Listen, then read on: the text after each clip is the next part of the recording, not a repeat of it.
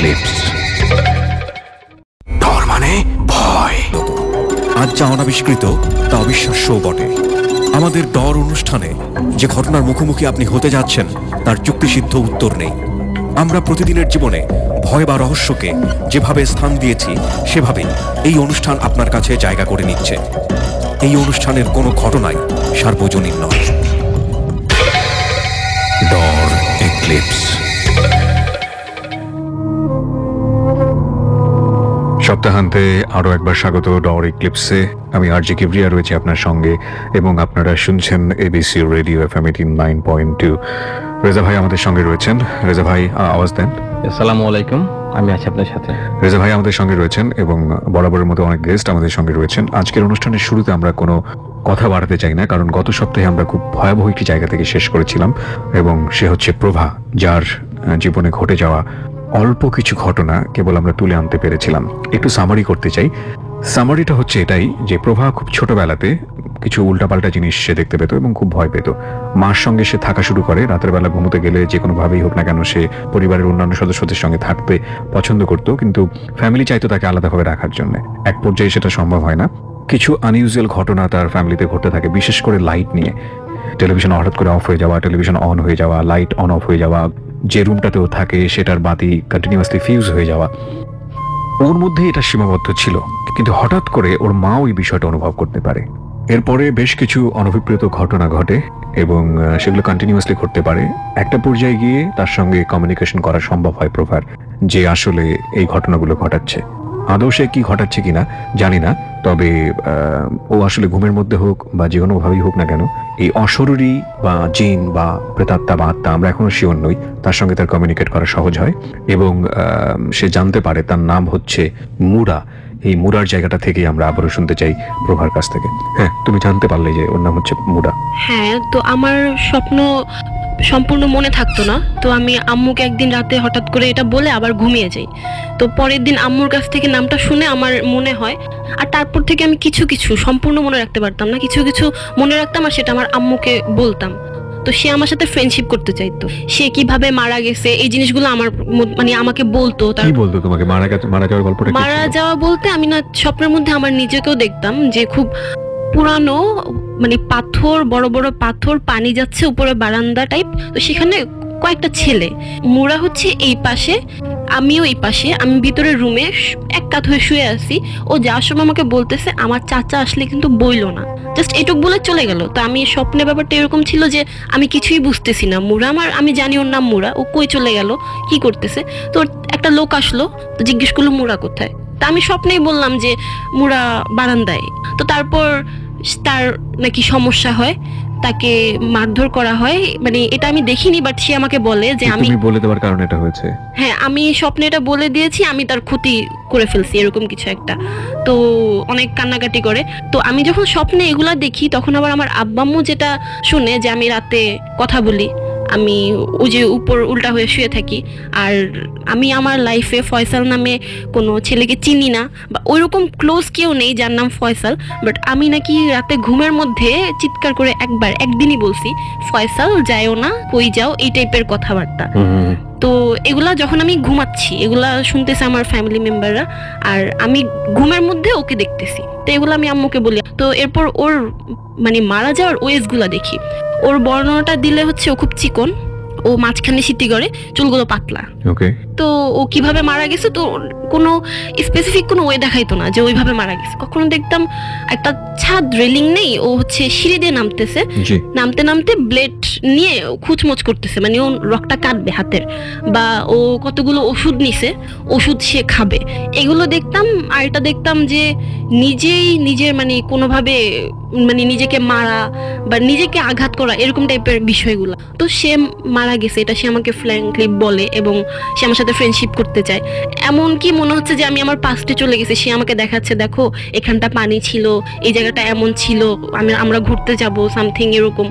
আমিও না, আসলে আমার আব্বু আম্মু আমাকে দশ বছর বলবে এসএসসি পর্যন্ত খুব মানে তাদের মন মতো করে গড়ছে।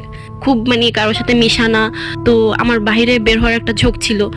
ওকে দেখে ভয় লাগতো না, কারণ তখন আমার বিষয়টা খুব ইউজার হয়ে গেছিল আর ধারাবাহিকভাবে ওর সাথে আমার যোগাযোগ হইতো। বাট ওই যে আমি একটা সময় গিয়ে যে নামটা আম্মুকে বলে দিছি, পরের দিন হচ্ছে সে মানে আমাকে মারে। দেখি যে আমি যে শুই, সেখানে একটা দেয়ালের পাশে এরকম একটা পিলার আছে। তো আমি দেখছি পিলারে আমাকে মাথা ইয়া করতেছে, যে নামটা কেন বলছি? অ্যান্ড সকালবেলা আমার এই জায়গাটা বিষ আম্মু বলতেছে যে হ্যাঁ হালকা ফুলা ফুলা লাগতেছে। আর এরপরে শুরু হলো আরেকটা জিনিস যে অদ্ভুত, আমি আজকে এটা খাব মানে আমার মাঝখান দিয়ে রুচি আপ ডাউন করে। আমার পছন্দের খাবার আমি আজকে এটা খাব? হ্যাঁ আমি স্বপ্ন দেখতেছি, খাচ্ছি। সকালবেলা আমার পেট ফেপে আছে, কিছু খেতে পারতেছি না। মানে আমি ওটা হয়তো মানে সত্যিকারে মানে মনে হচ্ছে যে আমি খাইছি ব্যাপারটা এরকম। আবার কিছু নোংরা স্বপ্ন দেখতাম যে ওয়াশরুমের এই পাশে যে পাকাটা এখানে মাংস রান্না করে কেউ ঢেলে দিছে। বলতেছে যেটা খাও এরকম নোংরা ব্যাপার। এমনও হয়েছে যে স্বপ্নের মধ্যে আমি ধরবো ধরবো খাব খাব এরকম একটা অবস্থা জেগে গেছি। ওর তখন কমিউনিকেটার চলে যায়। এর মাঝখানে চলে যায়। মোড়া বলতে কি? যেমন কথা বলতাম স্বপ্নে সরাসরি ওই জিনিসটা চলে যায়। ওকে দেখতাম। একদিন একটা খারাপ চেহারাও দেখছি ওর বাট ওইভাবে আর কমিউনিকেট হয় না। আমার ছোটবেলা থেকেই একটা জিনিস কি, আমি স্বপ্ন দেখে হয়তো যেগুলো বলতে ভুলে যেতাম, সেই স্বপ্নগুলো আমি ডাবল করে দেখতাম। কয়েকটা স্বপ্ন এমন ছিল যে, আমার জন্মদিনে এই বছর আমি এই স্বপ্নটা দেখছি নেক্সট ইয়ার আমার জন্মদিনেই আমি এই স্বপ্নটা আবার দেখব। তো এরকম হয়তো, আর আগের বাসায় থাকতে আমি একটা স্বপ্ন দেখছি, আমি ভুলে গেছি।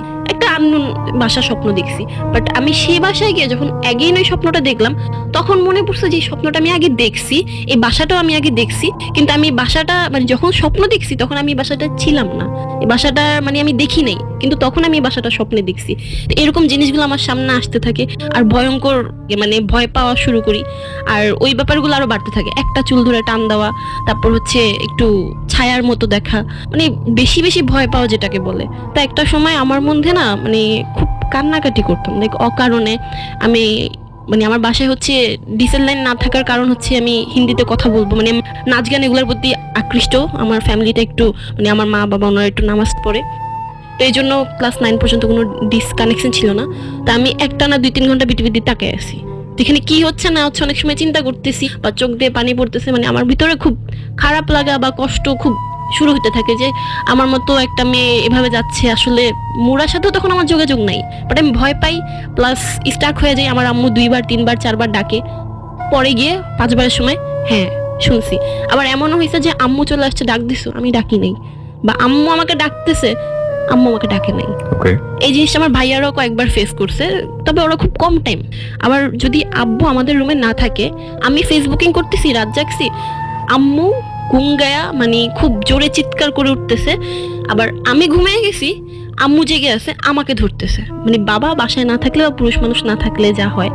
তো এরকম চলতে থাকে আর আমাদের বাসায় কখনো ওই যে পজেস হওয়া যেটা আমি হই নাই কিংবা অন্য কোনো মেম্বার হয় নাই। তবে আমার ছোট ভাইয়া তার নাম হচ্ছে রাজু সে একবার জ্বর না এটা শুরুর দিকে ছিল আমি মিস করে গেছি। তো তা- তখন তাকে ধরে এবং সে আমার বড় ভাইয়ের সাথে খুব খারাপ বিহেভ করে। ভাইয়া যখন লাইট ছাড়ে, সে বলে যে লাইট ছাড়ছিস? মানে তুই তো গাড়ি। এবং ভাইয়াকে ধমকায়। ফোন দেয় আব্বুকে। আব্বু আবার তাদের রুমেই ফোনটা রেখে আসছে। দ্যাটস ওয়াই খুব ঝামেলা হয়েছে। মানে আমরা টেরই পাই নাই যে ভাইয়া পজেস্ট হয়েছে সকালবেলা আমরা ব্যাপারটা শুনি এটাই ছিল পজেস্ট হওয়ার ঘটনা। আর তারপর আমার মধ্যে একটা ব্যাপার চলে আসে যে আমার খুব খারাপ লাগতে থাকে এবং কিছু হইলে আমার মানে সুইসাইড করার একটা চিন্তা ভাবনা চলে আসে ভিতরে। কিছু হলে বলতে? কিছু হলে বলতে আমার বাসায় একটু ঝামেলা হইলে মনে করেন যে আমি হয়তো কিছুদিন ধরে সিক কলেজ যেতে পারতেছি না। এন্ড কলেজে স্কুলে গেলে তখন তো স্কুল স্কুলে আমার বেশি ফ্রেন্ড হতো না। খুব বেশি একা ফিল করতাম। তো একটা সময় গিয়ে আমার মনে এরকম একটা ব্যাপার ঢুকে গেলো যে, আব্বা, আম্মু, একটু শাসন করলে সুইসাইড করে ফেলব? এরকম একটা ব্যাপার। তো পরে একটা পর্যায়ে গিয়ে আমি খুব খারাপ বিহেভ করি আব্বা সাথে। তো করে না, আমি আবার বুঝতেছি যে আমি অনেক খারাপ বিহেভ করে ফেলছি। বাথরুমে গিয়ে না আমি বসে আছি। তো তারা যে টাকা টাকাইতেছে ইয়া করতেছে, আমি বুঝতেছি আমি খারাপ বিহেভ করছি বাট আমার ওই ইয়াটা কাজ করতেছে না যে আমি দরজাটা খুলবো। তারা বাহির থেকে গিয়ে জানলা খুলে তারপর দেখতেছে যে না, আমি ঠিক আছে, আমি চুপচাপ বসে আছি। তো তারপর আমি একবার স্লিপিং পিলো নিছি। প্রায় তিন দিন কমাইছিলাম। ছিলাম ভাইয়ারা একবার কি যেন বকা না কি যেন যেন একটু ঝামেলা হয়েছিল। ওই ওয়েগুলা যে ওয়েগুলো না মানে মুরার কাছ থেকে দেখতাম। মানে যেটা মুরা বলতো হ্যাঁ। সেটাই হচ্ছিল। ওর ওর সাথে আমার কোনো কানেক্ট নাই। কিন্তু আমি স্লিপিং পিল খাইছি এন্ড ব্লেড আমার কাছে ছিল। আমি কাটবো এখানে একটা কথা বলে নিই প্রিয় শ্রোতা যারা গত পর্বের শেষের দিকটা শোনেনি তারা হয়তো বা মিস করবেন বা বুঝতে পারবেন না ওকে? মুরা বলতে ও যেটা বোঝাচ্ছে ওর সাথে কমিউনিকেশন যে করতো অশরীরী যেই ব্যাপারটা জিন না প্রেতাত্মা আমরা জানি না। সো মুরা ওকে ওর ফিউচারটা দেখাতো। ওর কথা যদি আমরা মানে সত্যি ধরে নেই মানে যেভাবে মুরা মারা গেছে ঠিক ওই জিনিসগুলো যখন ওর মুরার সঙ্গে কমিউনিকেশন নাই ওই সময়টাতে ওর লাইফে সেই জিনিসগুলোই ঘটতেছে। বলুন ইন্টারাপ্ট করলাম হ্যাঁ। হ্যাঁ তারপর এগুলা নিয়ে একটা সময় আমার আব্বুর মধ্যে বিলিফটা কিছুটা আসে যেহেতু সে শুনতেছে দেখতেছে। তো ওই ব্যাপারটা অনেক ফায়ার ছিল যেহেতু আমি একটা অচেনা ছেলের নাম কেন স্বপ্নের মধ্যে চিৎকার করে বলব? এন্ড আমি ফ্যামিলি মেম্বাররা মনে করেছিল যে আপনার ওর সঙ্গে বোধহয় কোনো সম্পর্ক হ্যাঁ, আছে সে নামটা ছিল ফয়সাল। তো আমি আম্মু বলতেছে যে আব্বু ফায়ার বিকজ অফ আমি একদিন রাতে ভাবে চিৎকার করছিলাম। ভাইয়ার এটা জানে নাই আম্মুর কাছ থেকে আমি শুনছি। আমার কথা হচ্ছে আমি ফয়সাল নামে ক্লোজ কোনো ফ্রেন্ডও ছিল না আমার লাইফে তো এগুলা নিয়ে একটু ফায়ার ছিল বাট লাস্টে সে আমরা অনেক ট্রাই করছি পুরান ঢাকার একজন হচ্ছে জিন আসে শরীরে। শরীরে জিন আসে? হ্যাঁ ওনাকে একবার ক্লাস সিক্সে মানে এই বাসায় নতুন আসার সময় যখন সমস্যাগুলো নতুন নতুন তখন একবার আনানো হয়েছিল। পানির মধ্যে সাতটা সাতটা করে ধান কি কি পাতা যেন এমন জায়গায় যেখানে আমি চল্লিশ দিন যাব না তা আমাদের ছাদেই আমাকে সকালবেলা নিয়ে গোসল করে নিয়ে আসা হয়। তারপর আবার হুজুর বিভিন্ন হুজুরের কাছে যাই তাবিজ ইউজ করি। মানে ছোটবেলা থেকে আমার সাথে তাবিজ ছিল ভয়ের জন্য। তারপর কুমিল্লাও যাওয়া হয় তাবিজ নিয়ে তারপর চলে আসছি। এখন মোটামুটি আমি ঠিক আছি যে ও মাঝে আবার স্ক্র্যাচের ব্যাপার হতো আমার বডিতে হ্যাঁ স্ক্র্যাচ অথবা এমন এমন জায়গায় যেখানে হচ্ছে চিমটি দিয়ে মাংস নেওয়া হয়েছে। আমি তো টের পেতাম না। কখন টের পেতাম? গোসল করতে গেলে পানি লাগলে জ্বলতো। জ্বলতো হ্যাঁ। তো তখন তাবিজটা নেওয়ার পরে এখন অনেকটা ঠিক আছি। আরও অনেক কিছু ছিল হয়তো আমি মিস করে গেছি। মানে ছয় সাত বছর এই বাসাটাতে এখনও এখানেই আছি। জানি না কেন এই বাসাটা ছাড়া হয় না। বাট এর মধ্যে অনেক প্রবলেম গেছে। এখন অনেকটা ঠিক আছি বাট আমার মনে হয় কি আমি এক্সাম দিতে গেলেও আমার এইসব ব্যাপারগুলো খুব মাথায় আসে কিনা জানি না বাট আমি স্টাক হয়ে যাই। মানে হয়ে হ্যাঁ মানে আমি লিখতে লিখতে এসএসসি এক্সাম আমি লিখতে লিখতে হঠাৎ করে চুপ করে বসে অন্য কিছু ভাবতেছি বা একটা দিকে তাকাই আছি। আমার টাইম চলে যাচ্ছে। ওই সময়টা তো জিরো হয়ে যায় ব্রেন মানে কোনো কোনো ফিল হ্যাঁ মানে মনে থাকে না মানে একটা কিছু বলতে বলতে কিছু লস করে যাচ্ছি বলতে নিয়ে ভুলে যেতেছি কি বলব এরকম একটা সিচুয়েশন এখনও স্টিল আমার সাথে চারটা তাবিজ আছে। এখানে একটা বিষয় একটু বলে নেই প্রিয় শ্রোতা। এটার উপর একটা মুভি আছে যদি আপনাদের সুযোগ হয় মুভিটা আপনারা দেখবেন। সাউথ কোরিয়ান একটা মুভি আমি অনেক আগে দেখেছিলাম it's all about love story এখানে খুব ইন্টারেস্টিংলি যেটা দেখানো হয় হিরোইন যিনি থাকেন এই মুভিতে নায়িকা তার মেমোরি লস হতে থাকে। লস বলতে খুব ইনিশিয়ালি লাইক সে হঠাৎ করে পাঁচ দিনের কোনো মেমোরি নেই, সাত দিনের কোনো মেমোরি নেই। প্রথমে পাঁচ সাত মিনিট করে শুরু হয় এবং একটা পর্যায়ে সে ফুল মেমোরি লস করে। এই আলঝেইমার রোগের ওপরে আসলে এই মুভিটা করা হয়েছে অসম্ভব সুন্দর একটা লাভ স্টোরি সো আমরা আসলে সায়েন্সের কাছাকাছি থাকলে যদি সায়েন্স থেকে বিষয়গুলো সমাধান করার চেষ্টা করি, তাহলে আমাদের জীবনের জটিলতাগুলো অনেকখানি শেষ হয়ে যায়। বাট আমি যেহেতু ডক্টর না, সুতরাং আমি বলতে পারছি না যে আমি যার স্টোরিটা আপনাদের এখানে শোনালাম, সে আলঝেইমারের পেশেন্ট বাট সিমটম কিন্তু বিজ্ঞানে অলরেডি রিভিলড মেমোরি লসের যদি সিমটম থাকে, যদি মেমোরি লসের বিষয়গুলো থাকে, তাহলে সেটা বৈজ্ঞানিকভাবে বিভিন্নভাবে ব্যাখ্যা করা যায়। সুতরাং এটা আসলে প্যারানর্মাল বিষয় আমার জায়গা থেকে মেনে নেওয়াটা খুব মুশকিল। এবং যেই অসুখের নামটার কথা এখানে বললাম এটা এতটাই বেশি ভয়াবহ যে এটা ক্যান্সারের চাইতেও ভয়াবহ। এটা কি আসলে ডক্টরের জায়গা থেকে সাইন্টিফিক্যালি প্রুফ কোনো সমস্যা নাকি এটা প্যারানর্মাল সমস্যা? প্যারানর্মাল সমস্যা হলে হয়তো রেজা ভাই ভালো বলতে পারবেন কিন্তু ডক্টরের জায়গা থেকে সমস্যা কিনা সেটা আসলে একজন ডাক্তারই ভালো বলতে পারবেন। ডাক্তারের কাছে গিয়েছিলে কখনো তুমি? আমি ব্রেন বা সাইকোলজিস্টের কাছে কখনো যাওয়া হয়নি। ইউ শুড গো আমরা প্রথমেই যেটা বলব আমার মনে হয় রেজা ভাই এটা বলবে you should go to doctor first এগুলো কিন্তু ছোট ছোট সিমটম এবং একটা সময় দেখা গেল অনেক বড় আকারে আসছে। সো আমার মনে হয় তোমার ডাক্তারের কাছে যাওয়া উচিত ফ্যামিলি মেম্বার যারা আছে তাদেরকেও বোঝানো উচিত। এখন একটা জিনিস আমি মিস করে গেছি যে আমার ফ্যামিলি মেম্বারদের মধ্যে আমার আম্মুকে শুধু আমার মানে মানতাম। লাস্ট পর্যায়ে মানে আমার ফ্যামিলির কাউকে ভালো লাগতো না বাট ইদানিং আমি আম্মুর সাথে খুব রুড বিহেভ করি। মানে একটা সময় এখন এমন হয়ে যাচ্ছে যে আমি আম্মুকেও আপন ভাবতে পারতেছি না। মার সঙ্গে কি কি হয়? এরকম কোনো প্যারানর্মাল কিছু দেখতে পাও? আম্মু না আম্মুর পজেস্ট হয় না এমন কিছু না উল্টা উনি যদি বাসায় কিছু ফিলও করে আই গেস উনি আমাকে বলে না। উনি জাস্ট আমাকে এটা বলল যে বাইরে গেলে তাড়াতাড়ি বাসায় এসো। মানে আমি একা থাকতে একটু খারাপ লাগে এরকম একটা ব্যাপার। ও আম্মু একটা জিনিস ফিল করতো খাটটা নড়ে। আর হচ্ছে ওই বুকে চেপে বসাটা এটা আম্মু খুব ফিল করে। ওই যে আম্মু গুঙ্গিয়ে ওঠে আর কি ঘুমের মধ্যে। তা আম্মুর আবার একটা সমস্যা ছিল যখন আমি কেবল নতুন নতুন ভয় পাই ওই বাসাতে সেই সময় আম্মুকে কেউ একজন তাবিজ করা বলল আই ডোন্ট নো এটা ব্ল্যাক ম্যাজিক কিনা এবং সে বাসায় আসলে অসুস্থ হতো হসপিটালে গেলে সে সুস্থ। অ্যান্ড লাস্টলি এটা হুজুর দিয়ে আমাদের তোষকের থেকে একটা তাবিজ ওঠানোর পর ঠিক হয়ে যায়। তো এখন আবার আম্মুর সাথে কি হইতেছে আমি জানি না। তোমার সবচেয়ে কাছের বন্ধু যে সে কি তোমার এই বিষয়গুলো ফিল করে কখনো? মার পরে আমার একটা বেস্ট ফ্রেন্ড ছিল ওর নাম হচ্ছে শোভা। তো ওকে আমি বলতাম ও খুব ভয় পাইতো। উল্টা ও আমার বাসায় আসলে ও আমার বাথরুমে গেলে উল্টা আমার সামনে দাঁড়া করে রাখতো। ওই রুমে ঢুকতোই না আমি রুমে যাব না। লাইট অফ কেন? লাইট লাইট তো ফিউজ ম্যাক্সিমাম টাইম ওই রুমে লাইট থাকতো না। ফিউজ হয়ে যায় এতবার কে চেঞ্জ করবে? ভাই ইউর ফ্লো প্লিজ আচ্ছা যেটা কি ভাই বলল সাইন্টিফিক ব্যাখ্যা তার সাথে আমি একটু ছোট অ্যাড করতে চাই। আমার পক্ষ থেকে সেটাকে ডিলিশন আমার আমার মনে হয় আই মে বি রং আর প্যারানর্মাল ক্ষেত্রে আমি যদি বলি প্রথমত লাইটের ক্ষেত্রে আসি। আজকে খুব গত সপ্তাহের এপিসোড আর আজকে অনেক লম্বা স্টোরি এটা হ্যাঁ? ইলেকট্রোম্যাগনেটিক ফিল্ড তৈরি করে জিনরা বা অশরীরীরা। ট্রু আমার নিজের বাসায় নিস্তালা অফিসিয়াল লাইট সব আজীবন ফিউজ থাকে। আমার পক্ষে মাঝে মাঝে এমন হয়, কিছু জিনরা থাকে যে যাদের সাম্রাজ্য থাকে অনেক বড় এবং যেসব জিনরা থাকে যে সুলেমান আলাইসাল্লাম যেগুলোকে মানে আধিপত্য করতে পারতেন, এছাড়া পৃথিবীর কোনো মানব জাতির পক্ষে সম্ভব না।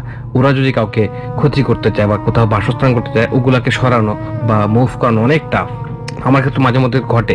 এটা ট্রু যে কোনো বাসায় যদি দেখেন লাইট বারবার ফিউজ হয়ে যাচ্ছে একই জায়গায় একই হোল্ডারে সামথিং রং দেয়ার এটা একটা গেল। আর যেটা মুরার কথা বলছেন হুম যদি আপনারা একটু ভালো করে বইপত্র পড়েন দেখবেন দ্য বুক অফ ফ্যান্ডম হ্যাঁ একটা বইয়ের নাম। এইসব বইয়ের মধ্যে এই মুরার কথা বলা আছে। আমি জানি না আপনি কি বই থেকে? মুরা নামটা? মুরা। এই জিনের আসল নাম হচ্ছে মুরাস এখান থেকে মুরা শব্দটা আসে। ইম্প্যাক্টগুলোর কি কথা আছে? মানে ওনার সম্পর্কে বলতেছি এই জিনটার চারটা মাথা হয়। একটা মেয়ে ছিল। না ঠিক আছে আপনার কথা হয়তো ফর্মেশন চেঞ্জ করে ফর্ম এসেছে। নিয়ে আসে নাই আর কি আসতে হয়তো ভয় ভয় পেতেন। আমি বলতেছি আপনার ব্যাপারটা খুব ইন্টারেস্টিং এবং ভেরি রিয়ার ঘটনাটা। আমার কাছে মনে হচ্ছে চারটা মাথার মধ্যে একটা মাথা সিংহের হয় একটা মাথা হয় হাতির একটা মাথা হয় ব্ল্যাক প্যান্থার চিনেন তো কালো বাঘ। কালো বাঘ। আর একটা মাথা হয় শিয়ালের মতো। রিল্যাক্স রিল্যাক্স এত ভয় পাওয়ার কিছু আচ্ছা, নাই। রিল্যাক্স আমরা আছি তোর সাথে এবং এই ধরনের ঘটনা ঘটে ধনুরাশির সাথে। হ্যাঁ আমার আসলে জন্মদিন যদি মিলাই তাহলে ধনু তবে এই ধরনের প্রবলেম তো অনেক। আমার একবার ছোটবেলায় হাত মাপানো হয় তখন আমার হাত বন্ধ হয়ে আসে। উনি বলছিল যে তুলা বাট পেপারে বার্থডে মানে মিলে আমার। কাগজপত্রের আসে ধনু হ্যাঁ। বাট মানুষের চিন্তার ভাবনে তুলা। হ্যাঁ। আচ্ছা সাথে আয়না আছে থাকলে দেখাতে হতো আয়নাতে অনেক কিছু দেখতে পারতেন। যদি গোল কোনো মিরর থাকে। এভাবে দেখতে মানে আপনি বলতে চাচ্ছেন যেটা কি ম্যাজিক ট্রিক না? না আয়না ওই আয়না দেখতো বাট তার মধ্যে সে আয়নার মধ্যে অন্য কিছু দেখতে পাবে সে। স্টুডিওতে আমি চাচ্ছি না এসব কারণে ইটস ভেরি এটা উল্টাপাল্টা হয়ে যায় এটা দরকার নেই। Actually I am so interested আমি কখনো দেখিনি বাট তুমি দেখতে চাচ্ছ? মানে চারটা মাত্র দেখতে চাচ্ছ? এটা আমার একটা সমস্যা ছিল যে ছোটবেলায় আমি শখ করে বলতাম যে আমার যদি এরকম একটা পালা জিন থাকতে হ্যাঁ দেখেন এটা একটা বড় সমস্যা। বেশিরভাগ মেয়েরা চিন্তা করে। এটা একটা এটা একটা বড় সমস্যা এবং এই জায়গাটা থেকে একটু বলতে চাই এটা আসলে শখ করে অনেকেই করতে চান আমার একটা ছোট জিন থাকতো মানে ছোট্ট পেটের মতো ওই যে বিড়াল পালার মতো ব্যাগে নিয়ে। ব্যাগে ঘুরতাম বোতলের মধ্যে নিয়ে ঘুরতাম। তো যখন কাছাকাছি আসে তখন দৌড়াদৌড়ি শুরু হয়ে যায় আর কি। তো আপু এখন ব্যাপারটা হচ্ছে এই মুরাহ জিন হ্যাঁ মুরাহ বলে আরবিতে এটা এই জিনটা এক্সিস্ট করে। এই জিনটা মোটামুটি ভালো শক্তিশালী। এই যে জাতিটা কিন্তু অনেক আগে বিলুপ্ত প্রায়। যেমন মানুষের মধ্যে অনেক জাতি আছে না জঙ্গলে জাতি এরা আছে কিন্তু বিলুপ্ত প্রায়। এই মুরা জিনরা যদি কোনো ভালো মেয়ে পায় বা তাদের কাছে যখন মিলে মেন্টালিটি মিলে এই যে আপনি বললেন আপনি উইশ করতেন হয়তো সেই উইশের কারণে আপনার কাছে চলে আসছে। আপনার অজান্তে ঠিক সেম ঘটনা ঘটছে আমাদের মাদ্রাসাতে। এক মহিলা বলছিল পেরেক মেরে যে কোনো জিন থাকলে আজ আমার আমার কাছে হ্যাঁ। হ্যাঁ ঠিক এরকম উইশ আমরা যখন করি এবং তারপরে শুধু আসে নাই পুরো সাত আট জন রিপোজেস্ট এবং তাদেরকে আমরা গিয়েছিলাম হন্টেড লাইভ করেছিলাম ওই থেকে একটা ব্যাপার হচ্ছে আপনি যদি হ্যান্ডেল করতে পারেন যদি জিনকে আপনি বশ করেন সেটা হারাম যদি জিন আপনার সাথে বন্ধু হয় কোনো সমস্যা নাই। আপনি যদি হ্যান্ডেল করতে না পারেন যদি আপনি দেখেন জিনে চারটা মাথা আপনার সামনে দাঁড়ায় গেছে আপনি অবশ্যই ভয় পাবেন। তো আপনি যেটা হ্যান্ডেল করতে পারবেন না সেটাকে কেন রাখতেছেন আপনি? এটা গেল একটা। আমাকে একটা জিনিস বলেন যে কুমিল্লাকে তাবিজ নিয়ে আসেন কুমিল্লাতে আপনার কি বাবার কোনো রিলেটিভ থাকে? আমার গ্রামের বাড়ি কুমিল্লা। ওকে কুমিল্লা। আমাকে এখন একটা জিনিস বলেন আমি M word M R T এই দুইটার আপনার কোনো ক্লোজ কারও নাম আছে? টি দিয়ে আমার বর্তমানে খুব বেস্ট একটা ফ্রেন্ড আছে কলেজ ফ্রেন্ড আচ্ছা। আর টি দিয়ে শুরু এন দিয়ে শেষ হয় নামটা? হ্যাঁ। নামটা। আচ্ছা, যাই হোক আমি নামটা রিভিল করতেছি না। কিন্তু আচ্ছা। রেডিও লক্ষ লক্ষ মানুষ শুনবে আপনিও প্রবলেম পড়তে পারেন। যাই হোক এ হচ্ছে ব্যাপার আপু আপনার সাথে সে কমিউনিকেট করার জন্য আসছিল। সামহাও সেটা কমিউনিকেট হয়নি। আপনি মিস করে গেছেন কোন একটা জিনিসে। আর সুইচের যে ব্যাপারটা অটোমেটিক অন অফ হওয়া বা আমরা জানি বাথরুমে একটা দোয়া আছে আল খাবেস উল হয়তো দোয়া পরে ওটা বাথরুমে যেতেন না। তো আমরা না। জানি জিনরা সবচেয়ে বেশি থাকে বাথরুমে এবং আয়না বাথরুমের যে মিরর কি একটা মজার তথ্য বলি তা নতুন মানুষ জানবে। দিনদের রাজ্যে ঢোকার জন্য সবচেয়ে বেস্ট হচ্ছে আয়না। আমি আয়নার সামনে ছোটবেলায় সারাক্ষণ থাকতাম। রেডিও এবং আয়না আমার ফ্রেন্ড ছিল। বুঝছেন কি করে বুঝেন কারণ অলরেডি মানে কারণগুলো পাওয়া অনেক কিছু মিস করে গেছি। আমি আয়নার মধ্যে আমার ফেসে কিন্তু এক এক সময় এক এক রকম দেখি। আমি এটা বোঝার চেষ্টা করতেছি। আর একটা। ট্রিক আমি বলে দিতে পারি আমার লিসনারদেরকে সেটা হচ্ছে আপনারা অনেক সময় যেটা ভাই যেটা বলে অনেক সময় অনেকে বিশ্বাস করেন না আমিও বিলিভ করি না। একটা জিনিস করবেন রাতের বেলা আয়নাতে ঢুকে ওয়াশরুমের আয়নাতে আপনি যাকে দেখছেন সেটা আপনি সরে যাওয়ার পরে একটু পরে সরে কিনা এটা ডিলে হয় কিনা এটা আপনি চেক করতে পারেন। আয়নাটার সামনে নিয়ে আপনি আয়নাটার দিকে স্থিরভাবে তাকাবেন চোখের দিকে তাকানোর পরে আপনি আপনার বাম দিকে সরবেন এবং খেয়াল করবেন আট দশ বার যে আপনি যখন সরছেন ওটা সরছে কিনা ওই ছায়াটা সরছে কিনা। একই সাথে সরছে কিনা। আপনি যদি খুব ঠান্ডা মাথায় এটা যদি করতে পারেন এবং এটা যদি হান্ড্রেড পার্সেন্ট অ্যাকুরেট হয় তাহলে এটা কোনো সমস্যা নাই। আর যদি হান্ড্রেড পার্সেন্ট অ্যাকুরেট না হয় হওয়ার কথা না ভাই। আমার মতে অ্যাকুরেট হওয়ার কথা না হওয়ার কথা না, ট্রাই করাটা খুব রিস্কি কারণ একটা জিনিস কি আয়নার প্রতিবিম্ব আপনি কিন্তু এক ব্যক্তি না দুইটা ভিন্ন ব্যক্তি। কারণ আয়নাটা উল্টা দেখে আয়নার উল্টা এবং এটা দ্য ওয়ার্ল্ড অফ জিন আপনি যদি ইয়ামিনের বইগুলা পড়েন দামেস্কোর বইগুলো পড়েন যা দামেস্কোর লেখকরা জিন বই লেখছে পড়বেন যে আমরা যদি জিনদের রাজ্যে প্রবেশ করতে চাই যেমন আমাদের রাজ্যে মানুষ কীভাবে আসে? পৃথিবীটা দেখা যাচ্ছে চলে আসে আমাদের রাজ্যে একটা মাধ্যম হচ্ছে কি? আকাশপথ আর তো মাধ্যম নাই। পৃথিবীতে ঢোকার রাস্তা কি? হ্যাঁ। চাঁদের চাঁদ থেকে বা মঙ্গল গ্রহ থেকে বা নেপচুন থেকে কেউ পৃথিবীতে আসতে চায় একমাত্র রাস্তা আকাশপথ। ঠিক তেমনি জিনদের রাজ্যে আপনি যদি প্রবেশ করতে চান আয়নার দরকার এবং অনেকগুলো আয়না দরকার অনেকগুলো প্রতিবিম্ব দরকার। অনেক সময় আপনি দেখতেছেন আয়নার মধ্যে আপনি যখন সরে গেলেন হয়তো বা সে ওই সুযোগে জাস্ট মুহূর্তের মধ্যে আপনার সাথে সে বের হয়ে গেল তার রাজ্য থেকে। রাইট আপনারা চাইলে আরেকটা ছবিও দেখতে পারেন। আজকে বেশ কয়েকটা ছবির কথা বলছি। দ্য মিরর ছবিটা দেখবেন এবং এটা সম্পূর্ণই এইরকম একটা ভৌতিক ঘটনা। এবং একটা জিনিস জানেন কীভাবে? এই যে ভূতের বা এই যে জিনের ব্যাপারটা বা এই যে ভৌতিক ব্যাপারগুলো মানুষের মাথায় আসছে কীভাবে? যারা মুভি বানায় তৈরি করে তারা পাইলে কোথায় তথ্যটা? অবশ্যই কারণ ঘুরছে। Right. জিনদের ভূতের চেয়ারে এমন হয় দাঁত লম্বা হয় আঙ্গুল বড় বড় হয় এগুলো তথ্য তারা পেল কোথায়? অবশ্যই কোথাও কোথাও দেখছে। ইভেন মিশরীয় সভ্যতার দিকে দেখবেন ছবিগুলো অঙ্কন করা মানুষের যখন পজেস্ট হতো কীভাবে পজেস্ট হতো? ট্রু কিন্তু এটাও ঠিক যে অনেক বেশি মিস ইন্টারপ্রেট হয়েছে অনেক বেশি অপব্যাখ্যা হয়েছে। কারণ এই জিনদের মধ্যে কিছু কিছু জিন আছে যাদের গল্প শুনলে ওদের প্রতি মায়া জন্মে যাবে ওদের প্রতি ভালোবাসা জন্মে যাবে। সুতরাং সবসময় নেগেটিভ ভাবে এক্সপ্লেইন করা হয়েছে বলেই আমরা এই জিনিসটা নিয়ে এতটা ভয় পাই। আপনি মোরা জিন নিয়ে কথা বলছিলেন। ওর জন্য যদি আপনার কিছু বলার থাকে সেটা আমরা বিরতিতে ওকে আপনি বলবেন সেটাই আমি রিকোয়েস্ট করব। এবং তোমাকে শুধু একটা কথাই বলার আছে তোমার বয়স সেভেন্টিন আর এইটিন তুমি আল্লাহর রহমতে এখন অনেক ভালো আছো আগের তুলনায়। এটা তুমি নিজেই বলতেছিলে একটু আগে। সো মেডিটেশনটা নিজের ভেতরে নিজে করা যে না আমি ভালো আছি এবং আমার সাথে কোনো জিনিস এরকম নাই এটাই হচ্ছে সবচেয়ে বড় অস্ত্র। আর রেজা ভাই যেটা বলবেন সেটাই বলবেন। কিছু বলতে চাও তুমি? হ্যাঁ আমার আম্মুর ব্যাপারটা। হ্যাঁ আমার ব্যাপারটাও তুমি ওনাকে বলবা আমরা অফ এয়ারে সেটা শুনব। থ্যাংক ইউ সো মাচ আমি একটা ছোট কথা বলব একটা কথা সবার জন্য সবার উদ্দেশ্যে যে পাঁচক্ত নামাজ পড়াটা খুবই ইম্পর্টেন্ট এর উপরে পৃথিবীতে শেফা দানকারী কেমন এবং আল্লাহ ছাড়া পৃথিবীতে কারও ক্ষমতা নাই যে আপনাকে হেল্প করবে বা কোনো কিওর করবে। আমি এটাই বলব সব সময় সবাইকে এটাই বলি। প্রিয় শ্রোতা, আমরা বিরতি নিচ্ছি। মাত্র চার মিনিটের বিরতি। চার মিনিট পরে আমরা আবারও ফিরে আসব ডর ইক্লিপসে আশা করছি আমাদের সাথেই থাকবেন। ডর মানে ভয়। ডর এক্লিপস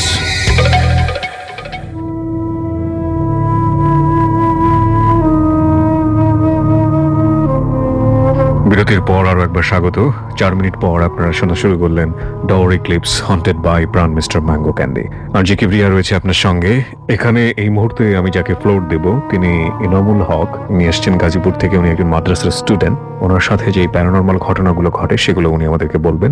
এই ফাঁকে প্রিয় শ্রোতা, আপনাদেরকে বলতে চাই প্রতি সপ্তাহের শুক্রবার রাত এগারোটা পঞ্চাশ মিনিটে, অর্থাৎ আগামীকাল রাত এগারোটা পঞ্চাশ মিনিটে, আপনারা হন্টেড লাইভ দেখতে পাবেন ফেসবুকে অর্থাৎ আমরা একটা জায়গাতে যাই, যে জায়গাটি হন্টেড ভৌতিক, কিংবা অনেকেই বিলিভ করেন এখানে অশরীরী আত্মারা আছে, কিংবা খারাপ জিন আছে।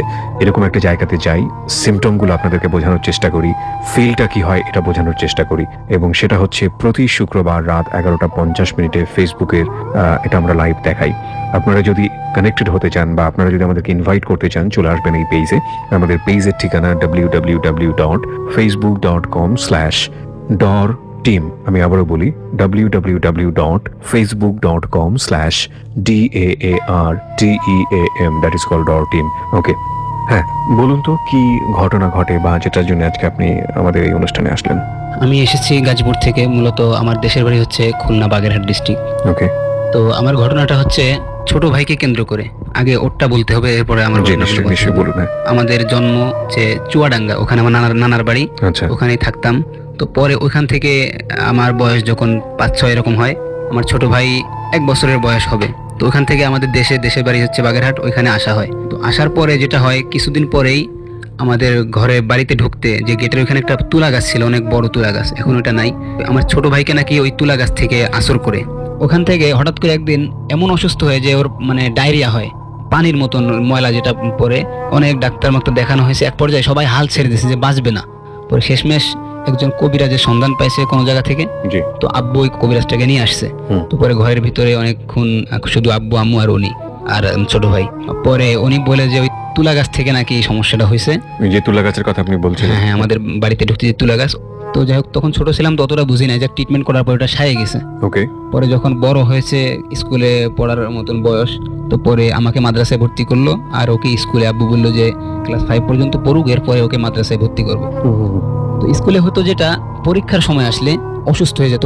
জ্বর ঠান্ডা কাশি মাথা যন্ত্রণা বিছনা থেকে উঠতে পারতো না। শুধু পরীক্ষার টাইম পরীক্ষা শেষ আবার ভালো। ওকে আর এর মাঝে হয়তো ওই ঘুমায় থাকতো। ঘুমায় থাকলে দেখা যাচ্ছে হঠাৎ করে চিল্লা উঠতো ঘুমের ভিতরে। আম্মুর কোলের ভিতরে মাথা গুজতো বালিশ থাকলে বালিশ দিয়ে মাথা চাপা দিয়ে রাখতো আর কান্নাকাটি করতো। ওই অবস্থায় আবার ঘুমায় যেত। পরে ঘুম ভাঙলে জিজ্ঞেস করলে কিছু বলতে পারতো না। ওকে এর মাঝে আম্মু এরকম স্বপ্ন দেখতো আর কি যে কিছু একটা এরকম পশম অনেক পশম গায়ে খেতা সরাই ফেলতেছে বা আগুন দিয়ে আম্মুকে তাড়া করতেছে আগুন এটা কি স্বপ্নে দেখতো না বাস্তবে হতো? সকালে বলতে যে স্বপ্ন দেখছি লাকড়িতে আগুন নিয়ে আম্মুর পিছনে ধাওয়া করছে। তো আম্মু এই অবস্থায় জিকির করতো আর কি করতে করতে দেখা যাচ্ছে আস্তে আস্তে এটা আর দেখতে পারতো না চলে যেত। আম্মু অনেকবার রিকোয়েস্ট করছে আব্বুরে যে কিছু একটা করেন। আব্বু বলছে ফাইভটা তো উঠে গেছে এই বছরটা শেষ করে ওকে মাদ্রাসায় দিয়ে দেবো। আব্বু আলেম তো মোটামুটি হালকা পাতলা কিছু জানে। তো আব্বু যতটুকু সম্ভব করছে কিন্তু এটা আব্বুর মানে আয়ত্তের বাহিরে।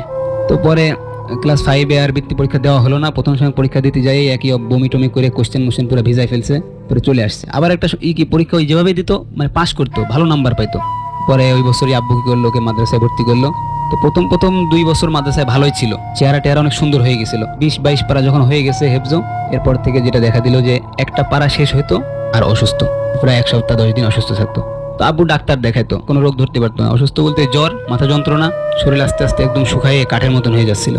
পরে আমি আব্বুকে বললাম, আব্বু, এটা তো হয়তো কোনো কোনো ডাক্তারি সমস্যা না, হয়তো জিনের কোনো সমস্যা হতে পারে, কারণ এই পাড়াটা হয়ে আর অসুস্থ হয়। তো আব্বু বলল যে, তাহলে তো কবিরাজ দেখানো দরকার ভালো কবিরাজ। আমি বললাম যে আমি যশোরে পড়াশোনা করছিলাম ওইখানে একজন হুজুর ছিল মাদ্রাসার প্রসিদ্ধ। চিটাগাঙে মানে হেলিকপ্টারে করে নিয়ে গেছে এরকম চিকিৎসা করানোর জন্য। আমাদের মাঝে মাঝে হেলিকপ্টারে চড়েন। এই ঘটনা অনেকেই জানেন না। তারপরে তো বলল যে আপনার ছেলেকে নিয়ে আসেন কুমিল্লা ওই যে উজানি পীর সাহেবের বাড়িতে নাকি ওইখানে। যাওয়া নিয়ে যাওয়ার পরে নাকি জিন হাজির করছে। জিনে কোনো কথা বলে না। মানে একদম বোবা। অনেক বুঝাইছে অনেক মানে কোনো রকম কোনো কথা বলে না। পরে রাগ করে উনি নাকি পোড়াই দিছে। তো এরপরে মানে যিনি পুড়িয়ে ফেলেছে। হ্যাঁ, হ্যাঁ, যেটা শুনছি আর কি আব্বুর কাছ থেকে। আমার প্রথম কোশ্চেন এটা যেহেতু আপনি এই প্যারানর্মাল বিষয় নিয়ে স্টাডি করেন। আল্লাহ বলছেন জীব হত্যা মহাপাপ। জিনকে আমরা বন্ধ করতে পারব না কাছে ডেকে নিয়ে তার কাছ থেকে বিশেষ ফায়দা নিতে পারব না। এ ব্যাপারে আমাদেরকে আমি যতদূর জানি যে এটা নিষেধ করা হয়েছে। সেখানে জিনও তো একটা জীব যেহেতু তারা জন্মগ্রহণ করে তারা মৃত্যুবরণ করে। তাদেরকে হত্যা করা তো মহাপাপ। এখন হত্যার কারণ আছে ভাই। যেমন আমাদের যখন নবীরা যুদ্ধ করছে সাহেবরা যুদ্ধ করছে তারাও তো মানুষ হত্যা করছে কিন্তু যুদ্ধক্ষেত্রে। খুনের বদলা খুন। কাউরে খুন করছ তোমার শাস্তি খুন। সেটা ঠিক আছে। যদি হয় কোনো সমস্যা নাই। ইসলামিক সিস্টেমে যদি যায় সমস্যা নাই। চেষ্টা করতে হবে যে সলিউশনে আসার। তা কারণ হত্যার জায়গাটা তো এমন ভাবে স্পষ্ট করে বলা আছে যে কোনো মানুষ যখন একজন মানুষকে হত্যা করে সে যেন মানব জাতিকেই ধ্বংস করল করে। প্রাণীর ব্যাপারও তাই বলা আছে। কিন্তু আসলে। জীব হত্যা মহাপাপ এই লাইনটা আসলে আলটিমেটলি কোরআন শরীফে নাই কিন্তু। উনি তো হাফিজ। ডাইরেক্ট হত্যা আপনি হাফেজ কোরআনের হাফেজ? জি জি। পুরো কোরআনের হাফেজ? জি মাশাআল্লাহ। এখন এই বছর তর্জমা পড়তেছি। আপনি মাশাআল্লাহ রেডিওতে বলছেন এখন পর্যন্ত আপনি হাফিজ যে? না না। আমি কিন্তু বুঝতে পারছি। আপনি কোরআন যদি পড়েন একটা নাই কিন্তু হাদিসে আছে কথাটা যে আমরা জীব হত্যা করো না বিনা কারণে তাহলে আমরা তো গরু খাচ্ছি জবাই দিয়ে। ওটা তো একটা একটা হত্যার পর্যায়ে পড়ে। কিন্তু কিন্তু এটা অন্য অন্য। এমন হয় আমাদের উপকারে আসে।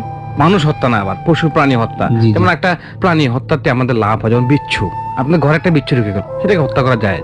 পরে ওই যখন পোড়াই দিছিল এরপরে ওর গায়ে তাবিজ টাবিজ ছিল আব্বু ওই তেত্রিশ আয়াত এগুলা লিখে গায়ে দিয়ে দিছিল। ওখানে লেখা আছে একটা কিতাবের ভিতরে যে তেত্রিশ আয়াত যদি সঙ্গে সঙ্গে থাকে কোনো জিনে আসর করতে পারে না। আচ্ছা, আমার ছোট প্রশ্ন কি ভাই? আমি- ইন্টারাপ্ট করে সরি লিসেনার যারা আছেন আপনার কাছে প্রশ্ন আপনি আমার কাছে হ্যাঁ উনি হাফিজি মানুষ ওনার কাছেও। উনি মাত্র বলল তেত্রিশ আয়াত কারও কাছে থাকলে জিন বুধ ধরবে না। আমি দুইটা অপশন নিব। একটা হচ্ছে আমার ভিতর আল্লাহর কালাম আছে। আমি আল্লাহকে ডাকতেছি আল্লাহ আমাকে তুমি বাঁচাও আমাকে হেল্প করো। এটা একটা অপশন সেকেন্ড অপশন হচ্ছে আমি তেত্রিশটা আয়াত নিয়ে পকেটে ঘুরতেছি। কোনটা বেটার মনে হয় আপনার কাছে? অবশ্যই থাউজেন্ড টাইম বেটার ফার্স্টেরটা আপনার মতে কি? হুজুর প্রথমটাই তাহলে কেন আপনি আয়াত নিয়ে ঘুরেন? না এটা মানে লেখা আছে আমার জাস্ট প্রশ্ন আমি কোনো কাউকে হেয় করতেছি না জাস্ট প্রশ্ন সবার কাছে। এটা ঠিক আছে অবশ্য। আপনার মধ্যে কোরআন আছে এটা কিন্তু ওনার কেস না ওনার ভাইয়ের কেস মানে এটা যদি ধরেন এমন কোনো মানুষের ক্ষেত্রে হয় যে আয়াতটা পড়তে পারছে না এমন অনেক বৃদ্ধ মানুষ থাকেন যারা হয়তো হয়তো বা আপনার মুখস্থ করতে পারে না। ওই আর দরকার নেই বাংলা ভাষা আল্লাহকে ডাকুক আল্লাহ তো সব ভাষা বুঝে। সমস্যা আছে ভাই? যে বাংলা এলাকায় দোয়া করে আল্লাহ তুমি আমাকে হেফাজত করো আমাকে জিন ভূত থেকে রক্ষা করো মানুষের অনিষ্ট থেকে রক্ষা রক্ষা করো। বাংলায় বলে কোনো সমস্যা আছে? না না। কোনো সমস্যা নাই। জি বলুন তারপর বুঝতে পেরেছি। জাস্ট প্রশ্ন। হ্যাঁ ঠিক আছে এটা দিলে উনি আসলে ইয়ে করতে পারবেন না। তারপর? আচ্ছা তারপরে যাই হোক কবিরাজ বলল যে সবকিছু তাবিজ টাবিজ খুলে ফেলতে আর কোনো সমস্যা হবে না। এক দেড় মাস ভালো থাকে এরপর থেকে সমস্যা শুরু হয়। তো এরপর আরও বেশি করে সমস্যা শুরু হয়। এমন সমস্যা যে পড়াশোনা তো করতে পারলোই না। এই আয়াতটা দেওয়ার পরে। আয়াত ফেলে দেওয়া হয়েছে।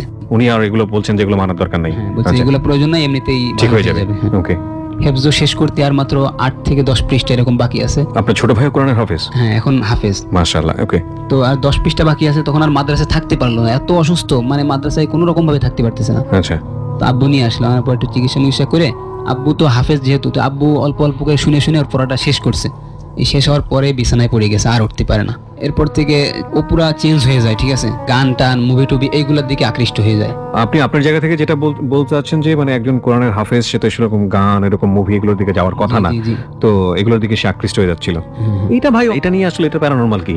ওরা আমাদের সমাজে আসলে এরকম একটা দৃষ্টিভঙ্গি আছে। একজন সুন্নতি লেবাসধারী একজন মানুষ সে যদি এইভাবে সিনেমার দিকে যায় কিংবা এভাবে গানের দিকে যায় আমরা আমাদের সামাজিক দৃষ্টিকোণ থেকে হারাম মানে ইসলামের দিক দিয়ে অবশ্যই হারাম কিন্তু আমরা ভালো চোখে দেখিও না. তো আপনাদের জায়গা থেকে আমরা যেটা বলছিলেন হ্যাঁ। হ্যাঁ, তো যদি বলি কোরআন শরীফ পড়ার কথা ওর মেজাজ হট হয়ে যায়। যদি বলি নামাজ পড়ার কথা অন্যরকম আচরণ করে আমাদের সাথে। বয়স কত এই পনেরো ষোলো এরকম। খুব অল্প বয়স। মানে এই জিনিসগুলো অনেক সময় কিন্তু এরকম হয়।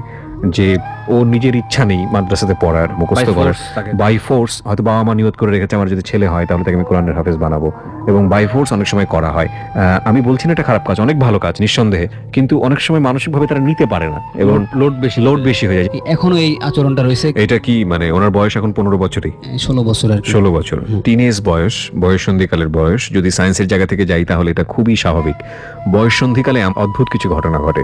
যদি আপনারা টিনেজ নিয়ে স্টাডি করেন তাহলে দেখবেন এই সময়টাতে মানুষ একটু একটা ট্রান্সফরমেশন চলে শরীরের মধ্যে মনের মধ্যে।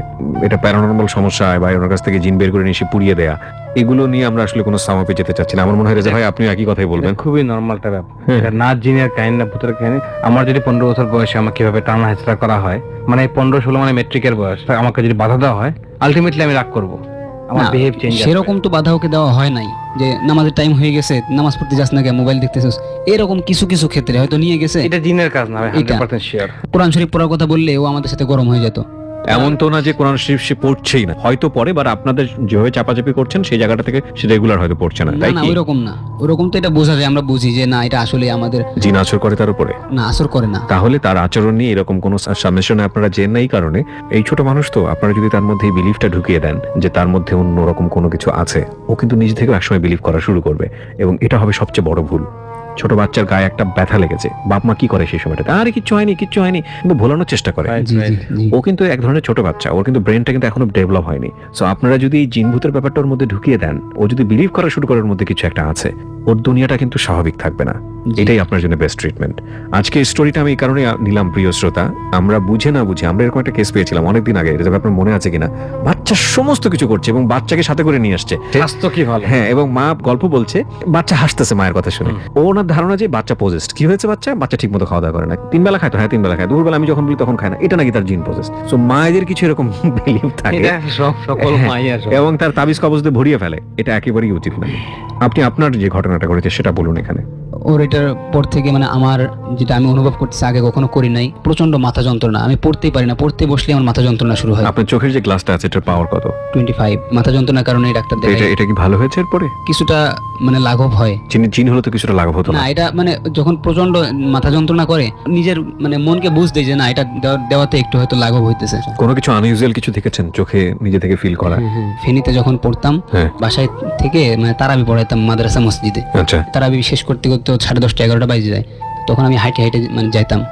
কিছুদিন আব্বুর সাইকেল ছিল তো দেখলাম যে তারাবি শেষ হয়ে গেছে আর মানে সাতাশ থেকে সুরা তারাবি হয়। তো আমাকে হুজুর বলল যে সুরা তারাবিগুলো তুমিই পড়াও খতম তারাবি পড়াইলে তো সুরা তারাবিটাও পড়াও।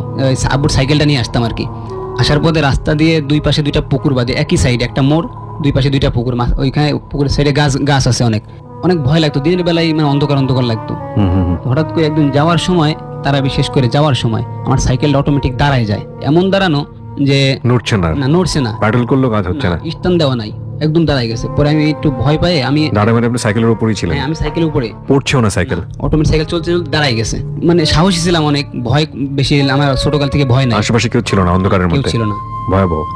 তো পরে যখন এরকম হলো তো আমি কি করছি তাড়াতাড়ি নামিয়ে গেছি সাইকেল থেকে। নামিয়ে আমি দাঁড়ায় আছি সাইকেলটা দাঁড়ায় আছে। পরে ও আপনি নেমে যাওয়ার পরে সাইকেল দাঁড়িয়ে ছিল? দাঁড়ায় আছে। পর হঠাৎ করে একটা শব্দ আসছে মানে এই হেই এরকম মানে খেদানোর একটা শব্দ যেটা বলে। আপনাকে? না এরকম একটা শব্দ আসছে। আমি শুনছি শোনার পরে সাইকেলটা পড়ে গেছে। তো আমি যখন সাইকেলটা উঠাইছি যাই উঠানোর পর একজন দাড়িওয়ালা মুরব্বীকে আমি আবিষ্কার করি সামনে। হঠাৎ করে কেমন যেন উদয় হলো মানে ভাইসে ওঠে যেরকম আমার গায়ের লোম শুরু উঠছে ভাই। মানে cause আমি সিচুয়েশনটা দেখতে পাচ্ছি। আমি ভিজুয়ালাইজ করতে আমারও শরীরগুলো এখন ওই পছন্দ দাঁড়ায় গেছে। দাড়ি সাদা দাড়ি আর জুব বা পাগড়ি মাথায় দেওয়া এরকম। তো পরে উনি আমাকে বলল তুমি এখান থেকে চলাফেরা করো কেন এত রাতে? এই জায়গাটা ভালো না আর ও তো ভালো না। তুমি এখান থেকে একা একা চলাফেরা করবা না। তো এরপরে আমি কিছু বলতে যাব তখন আর ওনাকে খুঁজে পাইলাম না। তো এটা আমি আব্বুর কাছে শেয়ার করি মানে খুবই ভয় পাই তখন আমার শরীর মরিল পুরো ঘা- ঘামায় যায়। আব্বু এই তারাবি পড়ে আসার পথে। হ্যাঁ হ্যাঁ বাসায় যাওয়ার পথে।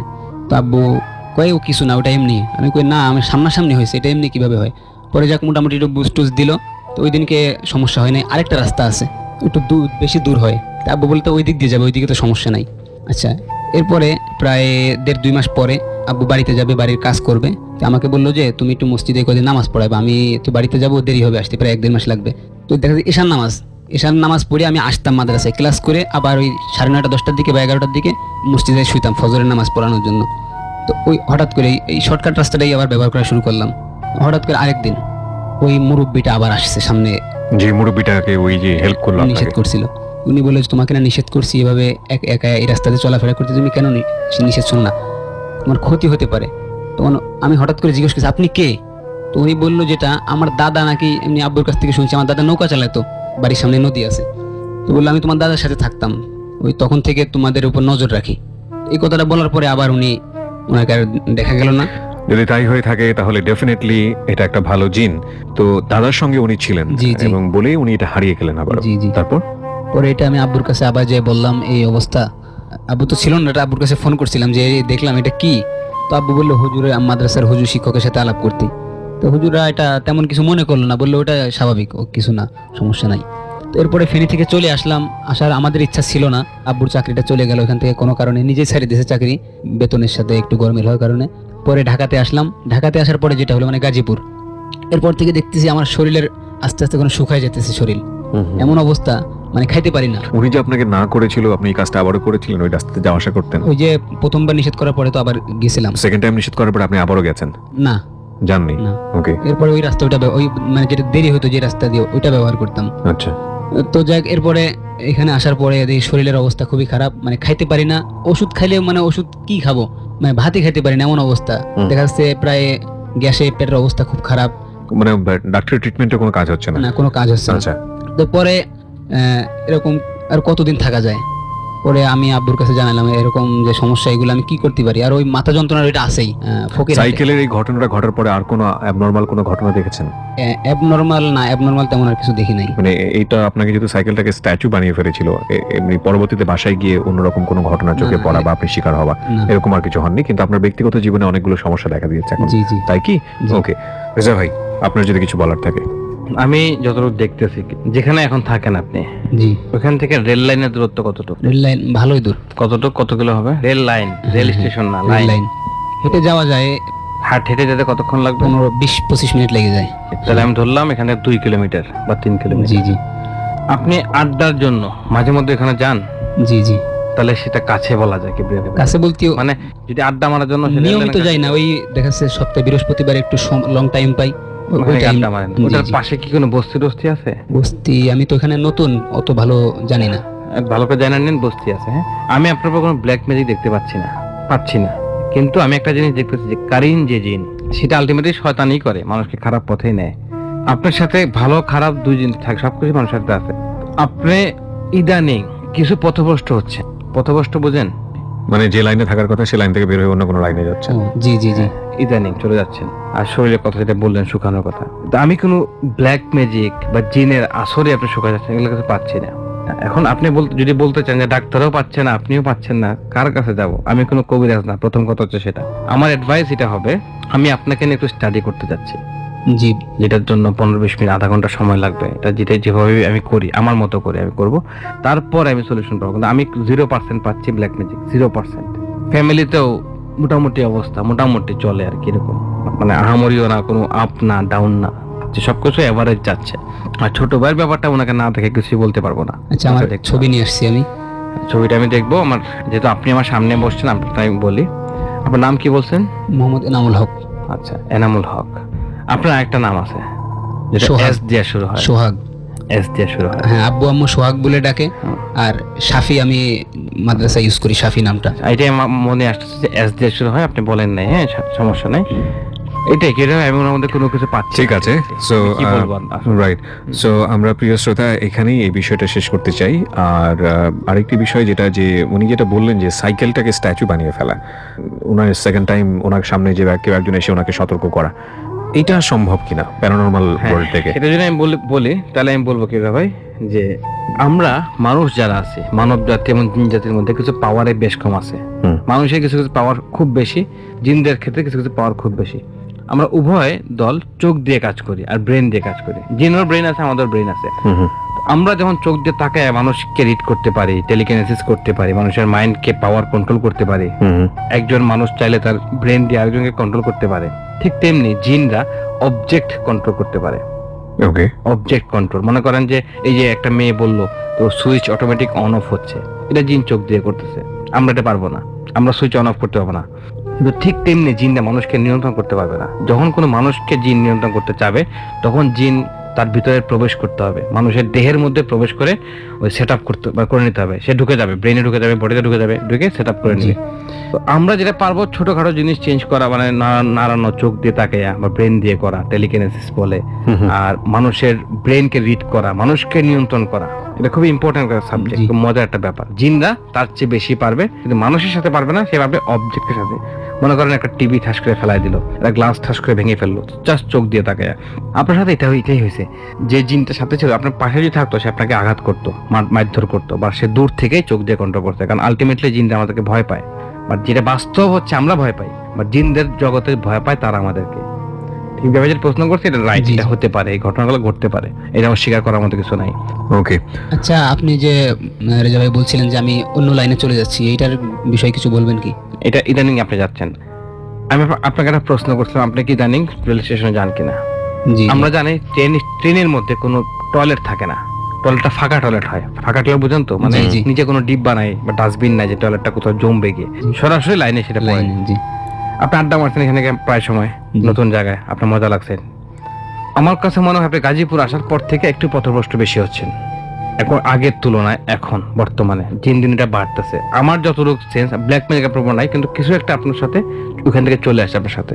যেটা আপনাকে খারাপ কুবুদ্ধি দিচ্ছে বাজে কাজ করতে বলতেছে। এতটুকু এর বেশি আমার মাথায় কিছু আসতেছে না। প্রিয় শ্রোতা আমরা এখানে একটা বিরতি নিতে চাই। আমরা ছোট্ট একটা বিরতি নেব। আপনারা শুনছেন Dor Eclipse in the mean time Reza ভাই কিছু একটা করছেন। খুব মনোযোগ দিয়ে আই ডোন্ট নো উনি হয়তো ব্যাখ্যাটা দাঁড় করাবেন আসলে কি বিষয়। উনি একটু স্টাডিও করছেন। ওনাকে বিশেষ করে আমাদের গেস্ট যিনি আছেন। ছোট্ট একটা বিরতি মাত্র পাঁচ মিনিটের। রাত বারোটায় আবারও কথা হচ্ছে। আমাদের সঙ্গেই থাকবেন। ডর মানে ভয়। হন্টেড বাই ডর এক্লিপস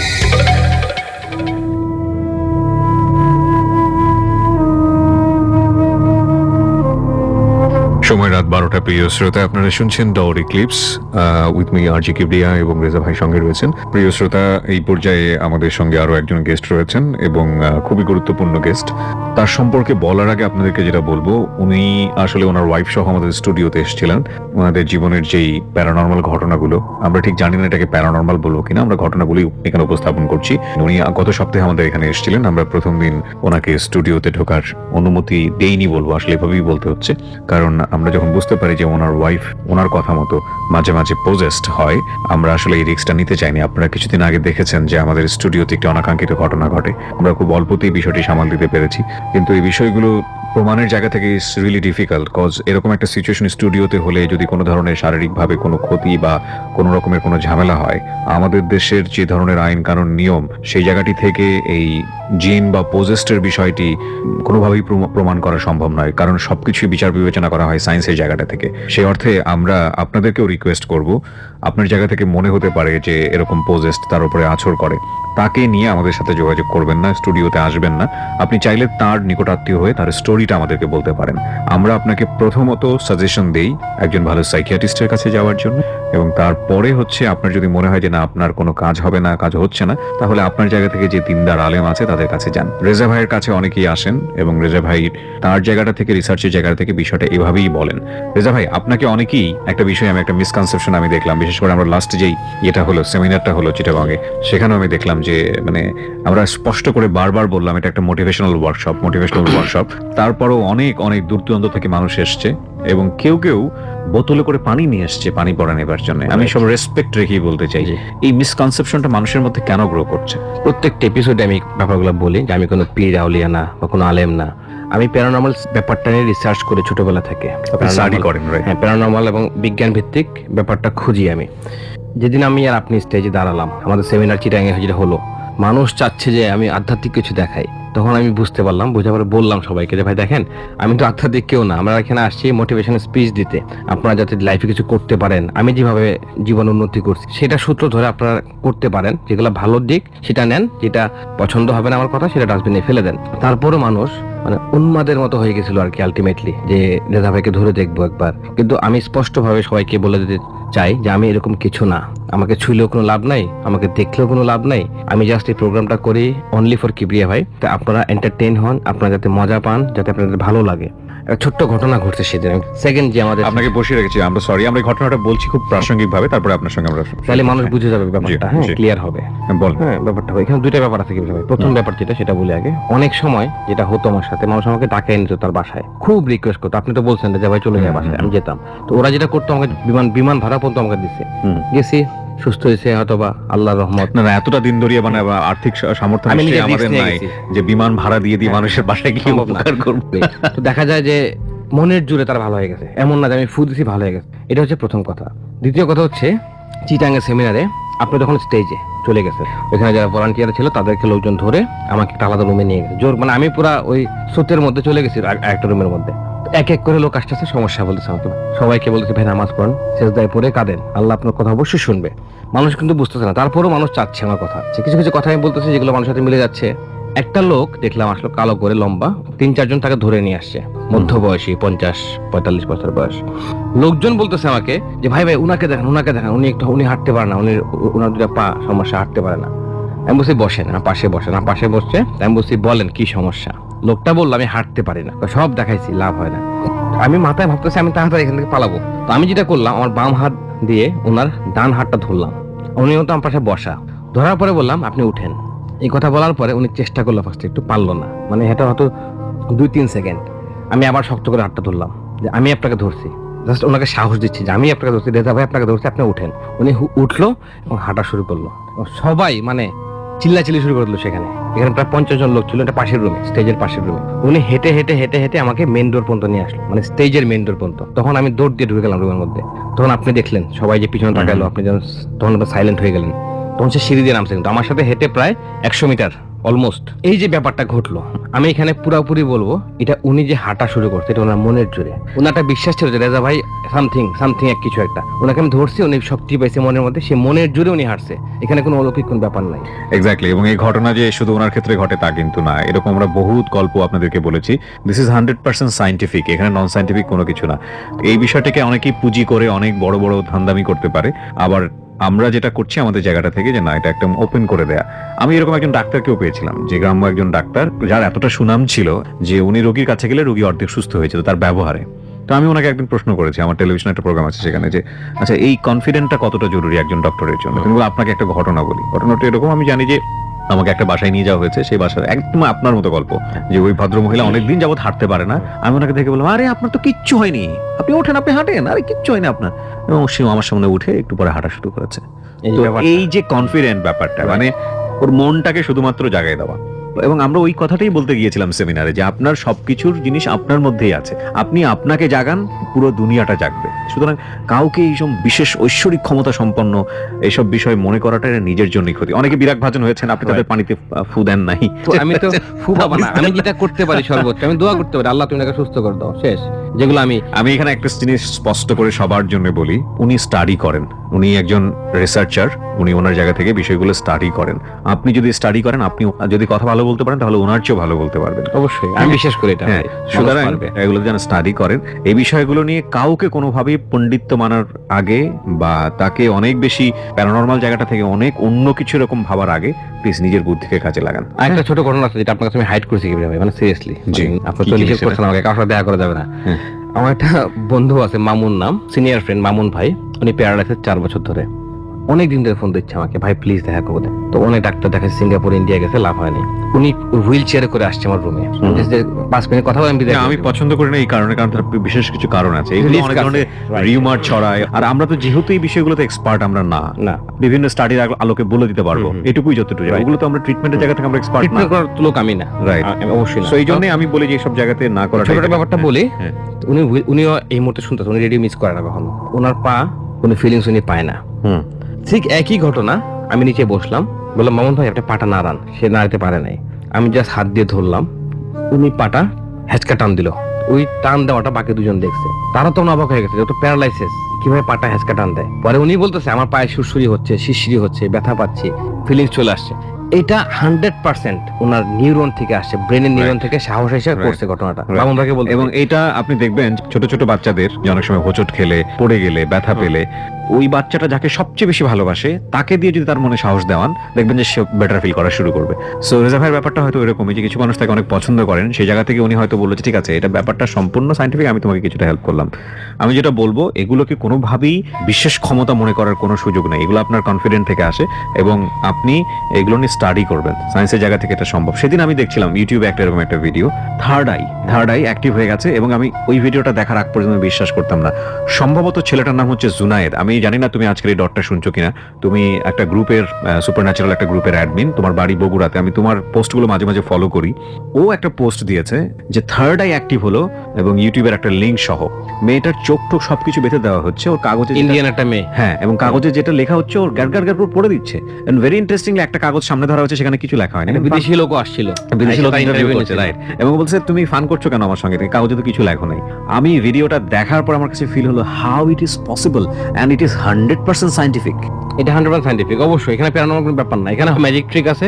না। কিন্তু এখন একটা কথা আছে। সেটা হচ্ছে যে এই বিষয়গুলো নিয়ে এখন আমাদের দেশের যে ধরনের মানুষের মানে শিক্ষার বিলিভ বাড়া সেই জায়গাটা থেকে এই এই বাচ্চাটাকে নিয়ে যদি কোনো ধরনের ধরেন বলা হয় যে জিনে জিনের একটা বিশেষ জিনটাকে ব্যাপার। বলে দিচ্ছে। তো সে কিন্তু অলরেডি এটা করে। ইন্ডিয়াতে মেয়েটা আপনি যদি তার ভিডিও ছোট একটা মেয়ে বাচ্চা মেয়ে কালো করে অনেকগুলো পার্ট আছে ভিডিও পরের পার্টগুলো যদি আপনি দেখেন সে মানুষকে ঝাড়ফুঁক করে। এখন আমি কি বলব? এটা কি বিজনেস হিসাবে সে নিয়ে নিছে? এগুলো করে? নাকি সাইন্টিফিক আমি কি বলব? যাই হোক, আমি ওই ভিডিওগুলো দেখিনি, যে ভিডিওগুলোর কথা আপনি বলছেন। সো দিস ইজ মানে পুরো পৃথিবীতে মিরাকল বিষয়গুলো আছে। কিন্তু আমরা যেন অবশ্যই হিপ্টোনাইজ না হয়ে যাই, কারও কাছে গিয়ে প্রতারিত হওয়া, যেটা আমরা মাঝে মাঝে টেলিভিশনের বিভিন্ন রিপোর্টেও দেখি। সো একটু কেয়ারফুল থাকবেন প্লিজ আলোর পথে আসুন এবং আলোটা আসলে নিজের মধ্যে আছে, সেটাকে জাগানোর চেষ্টা করুন। যদিও আমাদের জায়গা থেকে আমাদের এই অনুষ্ঠানটা very very non scientific cause আমরা যেহেতু ভয় নিয়ে নাড়াচাড়া করি, সেই জায়গাটি থেকে আসলে অনেক কিছুই নন সাইন্টিফিক কিন্তু এই মুহূর্তে যে ঘটনাটা আমরা শুনতে যাব, সেটা আসলে কতটা সাইন্টিফিক বা প্যারানর্মাল সেটা একটা প্রশ্ন থেকেই যাবে। কারণ উনি বেশ কিছু ডকুমেন্টস আমাদের জন্য সাথে করে এনেছেন।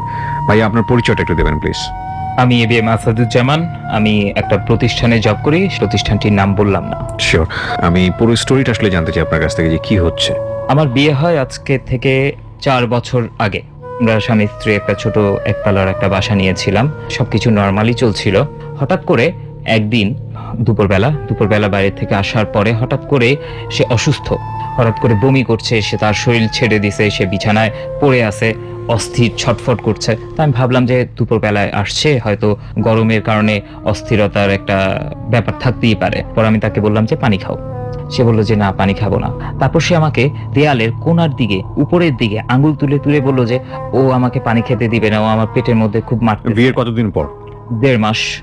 তার আগে আপনার ওয়াইফের সঙ্গে আপনার জানা মতে এরকম কোনো ঘটনা যেটা আমরা অ্যাবনর্মাল কোনো কিছু দেখতে পাচ্ছি এরকম কোনো কিছু ছিল? হ্যাঁ ছিল। এটা কি আপনি জানতেন? আহ, আমি তখন জানতাম না। এই ঘটনার পরে জানেন। আমি এই ঘটনা আরও আরও অনেক পরে জেনেছি। ওকে তাহলে কি হলো ঘটনাটা শুনি হ্যাঁ। যে সে যেদিকে আমাকে দেখাল সেদিকে আমি বললাম যে মাইট দিব বা দুষ্টামি করলাম যে আই এম নট সিরিয়াস যে আমি তাকে পানি খাওয়াতে যাচ্ছি কিন্তু তার মুখের মধ্যে পানি ঢুকছে তারপর ভক করে সব বের হয়ে আসছে এবং তার বুক টুক নাকি ছিঁড়ে যাচ্ছে পেট ছিঁড়ে যাচ্ছে। আমি বিশ্বাস করছি না ওরকম ভাবে তারপরও তাকে বোঝানোর জন্য আমি একটু দোয়া কালাম পড়ি যখন আমি সুরা পরে ফু দিলাম সাথে সাথে সে চার থেকে পাঁচ সেকেন্ডের জন্য সেন্সলেস হয়ে গেল। হুম।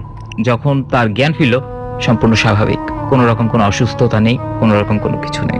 আপনাদের কি লাভ ম্যারেজ ছিল আর অ্যারেঞ্জ লাভ ম্যারেজ কত বছরের লাভ আই লাভ ইউ বলার সাত দিনের মাথায় আমরা বিয়ে করি। ওকে ঠিক আছে বলেন তারপর। ওকে দেন এই বাসার চ্যাপ্টার ক্লোজ এ সামহাও কোনো কিছুর জন্য আমি ও বাসাটা চেঞ্জ করলাম। তো ওই সময়টা বিষয়টা নিয়ে আপনি কোয়ারি করবেন না যে এটা কেন হলো কি কারণে হচ্ছে এরকম কেন করলা কি ফিল করলা ওকে তো জিজ্ঞেস করা উচিত। হ্যাঁ আমি ওকে জিজ্ঞেস করেছিলাম যে কীরকম ফিল বলল যে আমাকে একজন কোনার মধ্যে এসে বলতেছে পানি খেতে দিবে না আমাকে খুব আঘাত করতেছে বা মারতে চাইতেছে বলতেছে যে তোমারে মাইরা ফেলবে। আমি বললাম যে ওকে নো প্রবলেম আমার আসলে ছোটবেলা থেকে এগুলো ব্যাপারে ভয় আমি কাটিয়ে ফেলেছি। আমার ছোটবেলায় প্রচণ্ড ভয় ছিল। মানে আপনি নিজেও এক্সপিরিয়েন্স জি ওকে হালকা পাতলা। ওকে ছোটবেলা থেকে আমি আহ, প্রথম দিকে প্রচণ্ড ভয় পেতাম। পরবর্তীতে আমি যখন একটু অ্যাডাল্ট হলাম তখন আমি চিন্তা করলাম যে আসলে এই ভয়গুলো নিয়ে বাঁচা লাইফ লিড করা সম্ভব না। আমাকে এটা ওভারকাম করতে হবে। কীভাবে ওভারকাম এটা হচ্ছে কি আমি আসলে ভয়ের মুখোমুখি হলেই আমি ওভারকাম করতে পারব। আমার গ্রামের বাড়িতে গেলাম আমার নানু বাড়িতে গেলাম ওখানে বিদ্যুৎ নেই।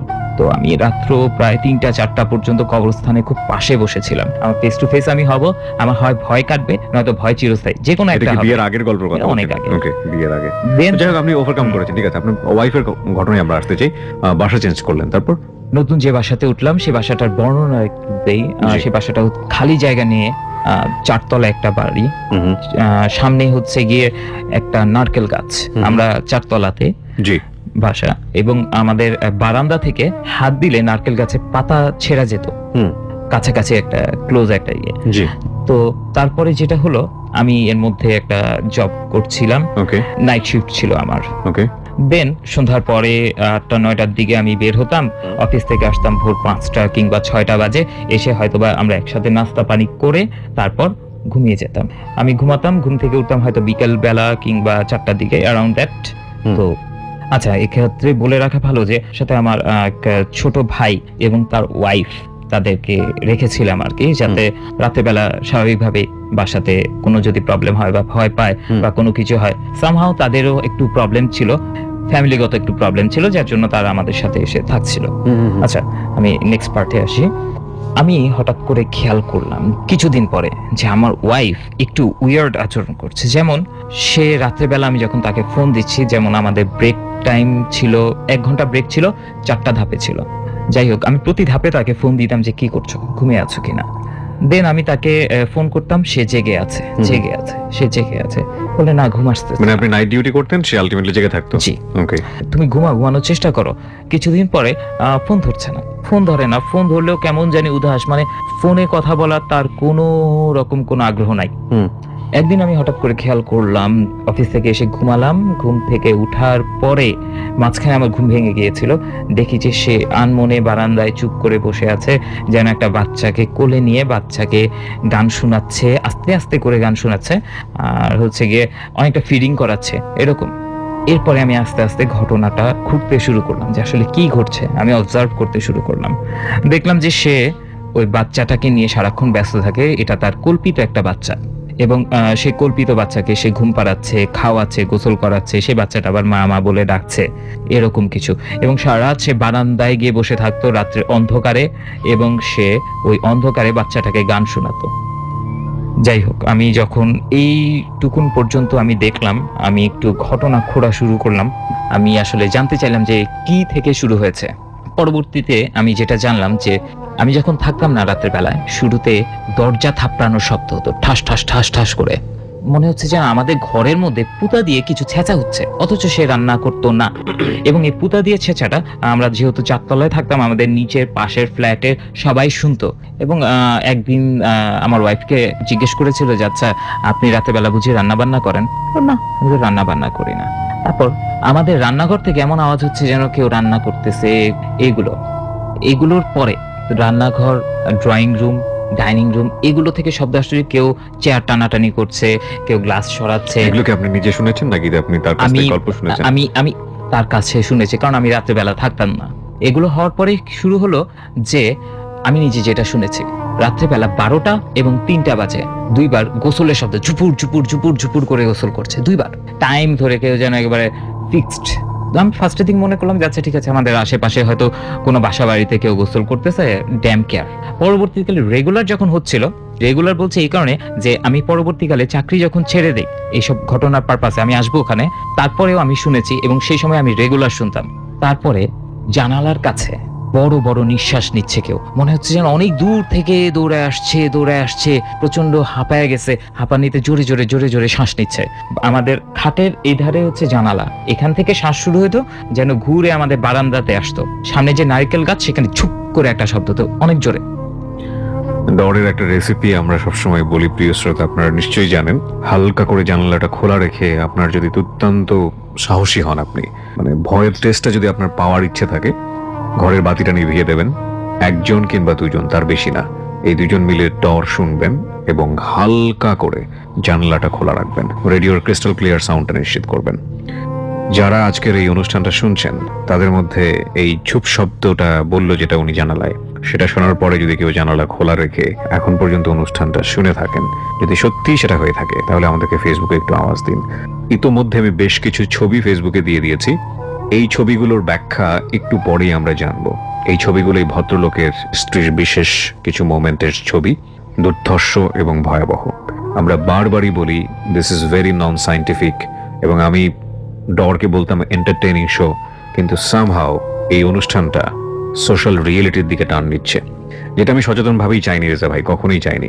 মানে আমার যদি যাহা বলিব সত্য বলিব বলি একটা সোশ্যাল যে ক্রাইমগুলো হয় সেখানে সে মানুষ কনফেস করে। কেউ না কেউ ভালো হওয়ার জন্য। কোনো জীবনের গল্প হ্যালো ইট নাইন টু জিরোতে মানুষকে মোটিভেট করে। কিন্তু এই ডটটাও এন্টারটেইনিং এর জায়গা থেকে বের হয়ে মানে আমাদের বাস্তব জীবনে যে প্যারানর্মাল প্রবলেমগুলা সেই প্যারানর্মালিটিকে এমন ভাবে নিয়ে আসতেছে যেটা আসলে কল্পকাহিনীর থেকে বের হয়ে এসে বাস্তব প্যারানর্মাল ঘটনা এবং সেটা আসলে কল্প কল্পকাহিনীর চেয়ে অত ভয়াবহ হতে পারে। সেটা আমি আসলে প্রি প্ল্যান ছাড়াই ওইদিকে আমার কেন জানি মনে হচ্ছে আমার এক কাজিন কিবরে ভাই জি। সে কখনো বিলিভ করতো না। মানে একটু হালকা নাস্তিক টাইপের আর কি। মানে সে কিছু বিলিভ করে না। দাদা কিসের জিন? আমাকে দেখাও জিন। সামনে আসতে বলো এরকম করতো। সে ফোন দিয়ে বলেছে ভাই আমার জানলাতে রড দেওয়া মানে উল্টা মানে বাসা তার পুরান ঢাকায়। রডের মাঝখানে একটা কাঠ থাকে কাঠ। যেটা দিয়ে রডটা ঢুকে। মাঝখানে কাঠ থাকে সেখানে দশটা বারোটা রড থাকে। একটা রড তো জানলা থেকে নাই।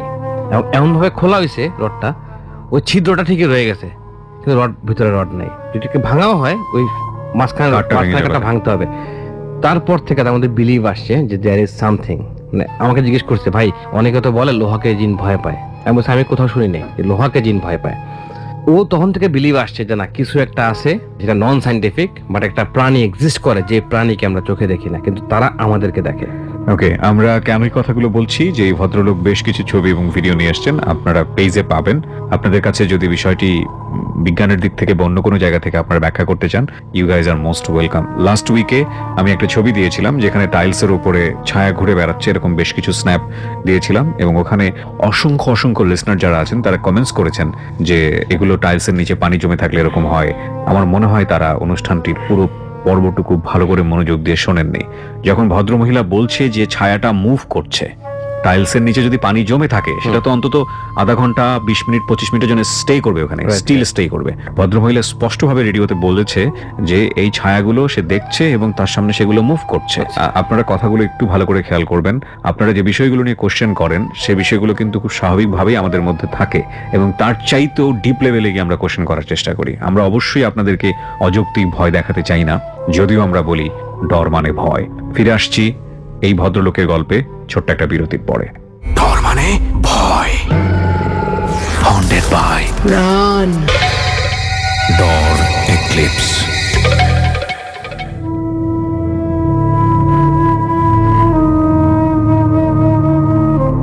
চার মিনিট পর আরও একবার স্বাগত। আপনারা শুনছেন ডর ইক্লিপস আর জে কিবরিয়া এবং আমাদের সঙ্গে রয়েছে রেজা ভাই। আর আজকে এখানে আসাদুজ্জামান তার প্যারানর্মাল অ্যাবনর্মাল নাকি সায়েন্টিফিক আমি জানি না। যে আনইউজুয়াল যে স্টোরিটা সেটা আমাদের সামনে এখানে রিভিল করছে। জি, আমরা যেখানটায় বিরতি নিয়েছিলাম, আমাদের মাঝে মাঝে ইন্টারাপ্ট করতে হয় বিকজ কিছু প্রাসঙ্গিক ঘটনা চলে আসে এবং সে কারণে হয়তো বা বলা বলুন, তারপরে কি হলো? ঝুপ করে নারকেল গাছের মধ্যে বসতো। শব্দটা এমন হতো যে আমরা সবাই শুনতে পেতাম। ঘরের মধ্যে যারা থাকতাম এবং নারকেল গাছটা নড়তো। কে একজন এসে অনেক ভারী শরীর নিয়ে বসেছে সেটা স্পষ্টভাবেই বোঝা যেত। এটা কি আপনি নিজে বুঝতেন নাকি আপনার ওয়াইফ শুধু বুঝে আপনাকে বলতো? আমি নিজে বুঝেছি আমার বাসার গেস্টদের সাথেও কি হয়েছে সেটাও আমি বলব আচ্ছা ইনশাআল্লাহ। হ্যাঁ। তো তারপরে সে দেখল যে একটা বাচ্চা মেয়ে। হাঁটুর নিচের অংশ নাই। হাঁটুর নিচের অংশ নাই। রাইট হেসড়িয়ে হেসড়িয়ে মানে হাঁপুর কেটে কেটে যেটা গ্রাম্য ভাষায় বলা হয় সে সেভাবে এক স্থান থেকে আরেক স্থানে যাচ্ছে। এরকম। মানে স্ক্রাম্বল করে আর স্ক্রাম্বল করে। তারপর আরও দেখতো সে যে একটা মহিলা সিঁদুর পরা কপালে টিপ শাড়ি পরা গহনাগাটি অর্নামেন্টস যথেষ্ট পরিমাণ খুব সাজগোজ করা খুব সাজগোজ। এবং সে তার দিকে তাকিয়ে থাকতো মাঝে মাঝে ডাকতো আমি আমার ওয়াইফের এখন পর্যন্ত প্রথম অংশটুকু বাদ দিয়ে যাবতীয় যে সমস্তগুলো সেগুলো আমি তার কাছ থেকে পরে জেনেছি। ওকে এবার আমি আমার লাইফের আমার দেখা সমস্ত ঘটনাগুলো বলতে চেষ্টা করব। প্রথম আমি যখন অফিস থেকে ফিরি একটা দিন আমি ঘুমিয়ে পড়ি। ঘুম থেকে হঠাৎ করে আমি জেগে উঠি। জেগে উঠে দেখি যে আমার ওয়াইফ পা উপরে দিয়ে মাথা নিচে দিয়ে এমন ভাবে পড়ে আছে যেন প্রায় কোনো সেন্স নেই কোনো কিছু নেই। আমি ঝট করে উঠে তাকে ধরি ধরে দেখি যে সে কথা বলতে পারছে না মুখ থেকে ফেনা ফেনা বেরোচ্ছে। যাই হোক আমি একটু দোয়া দরুদ পড়লাম দোয়া দরুদ পড়ে উঠলাম তার শরীর খারাপ অসুস্থ। আচ্ছা, এটা এই দিন গেল। আরেক দিন একইভাবে আমি ঘুম থেকে উঠলাম। ধোঁয়ার গন্ধে হালকা ধোঁয়া। দেখলাম আমার ওয়াইফ তার শরীরের যে জামা কাপড় সবগুলো খুলে বিছানার ধারে স্তূপ করে আগুন জ্বেলে দিয়েছে। এবং সেগুলো দাউ দাউ করে আগুন জ্বলছে এবং সে মুখটা নিয়ে, নাকটা নিয়ে সে আগুনের ধারে নিয়ে যাচ্ছিল। আমি যখন ওই সময় ঘুম থেকে উঠলাম, দেখ মানে সে তাকে আমি পরবর্তীতে জিজ্ঞেস করলাম যে, কেন? ওয়াই সে বলল যে, জানে না। পরবর্তীতে আরেকটা সময় সে আগুন জ্বালানো হচ্ছিল এক জায়গাতে, তখন শীতের সময় ছিল। সে ওইদিকে গিয়ে ধোঁয়ার গন্ধ নিচ্ছে।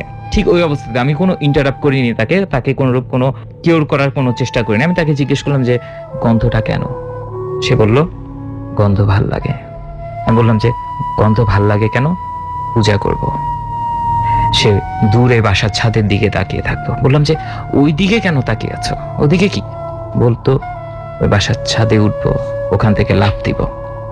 ওকে। তারপরে হঠাৎ করে একদিন সে আমার পাশে শুয়ে আছে উফ করে একটা শব্দ করল। বললাম কি হলো কি হলো? সে বলল যে কি জানি হাতের মধ্যে প্রচণ্ড ব্যথা হচ্ছে। দেখি। দেখলাম যে হাতের মধ্যে একটা কামড়ের দাগ।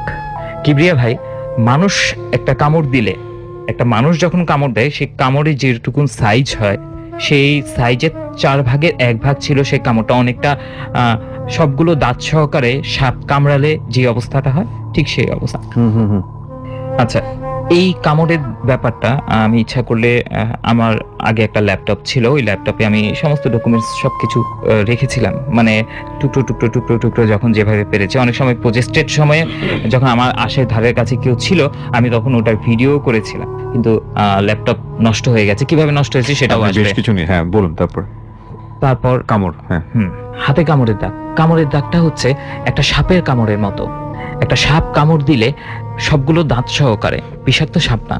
যে আমরা জানি যে বিষাক্ত সাপের দুটো মাত্র দাঁত থাকে, যে দুটো দাঁত দিয়ে শরীরে বিষ পুশ করে, সেটা না। সবগুলো দাঁত আছে এবং সবগুলো দাঁত বসানো, এবং এটা একবার, দুইবার, তিনবার, চারবার না মানে মোর দেন হান্ড্রেডস এবং এমন না যে শুধুমাত্র আমি দেখছি বা সে দেখছে, আমার আশেপাশে ওই সময় উপস্থিত যারা থাকতো, সবাই দেখতো।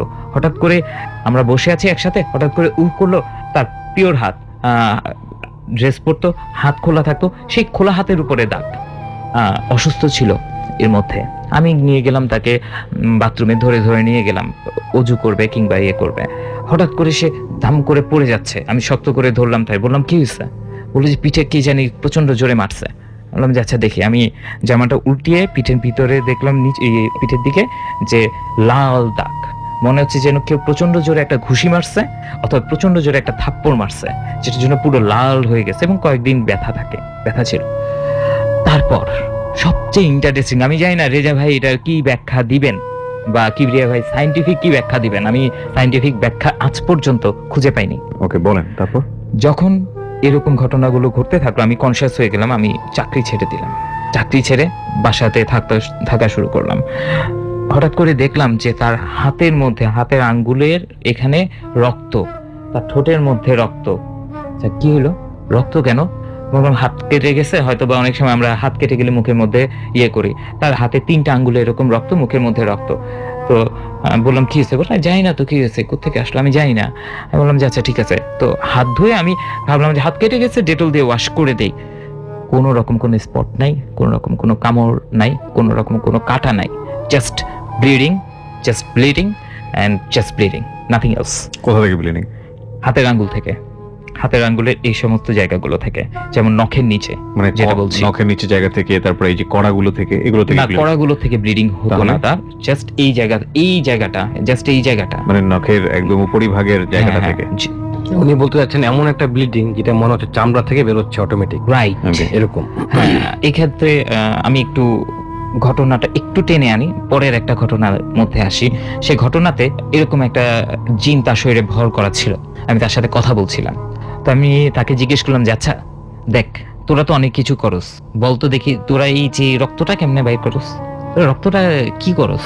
সে আমারে দেখাইলো যে, কীভাবে তারা রক্তটা চুষে নেয়। ইভেন তো কানের পেছনে কানের পেছনে, এই জায়গা তো আমি একবার পেয়েছি। আমি হাতে নাতে ধরেছি, যখন হাত চুষে রক্ত খাচ্ছিল তখন।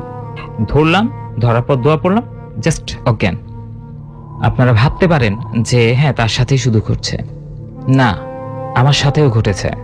আমার শরীরের মধ্যে অনেকগুলো দাগ আছে।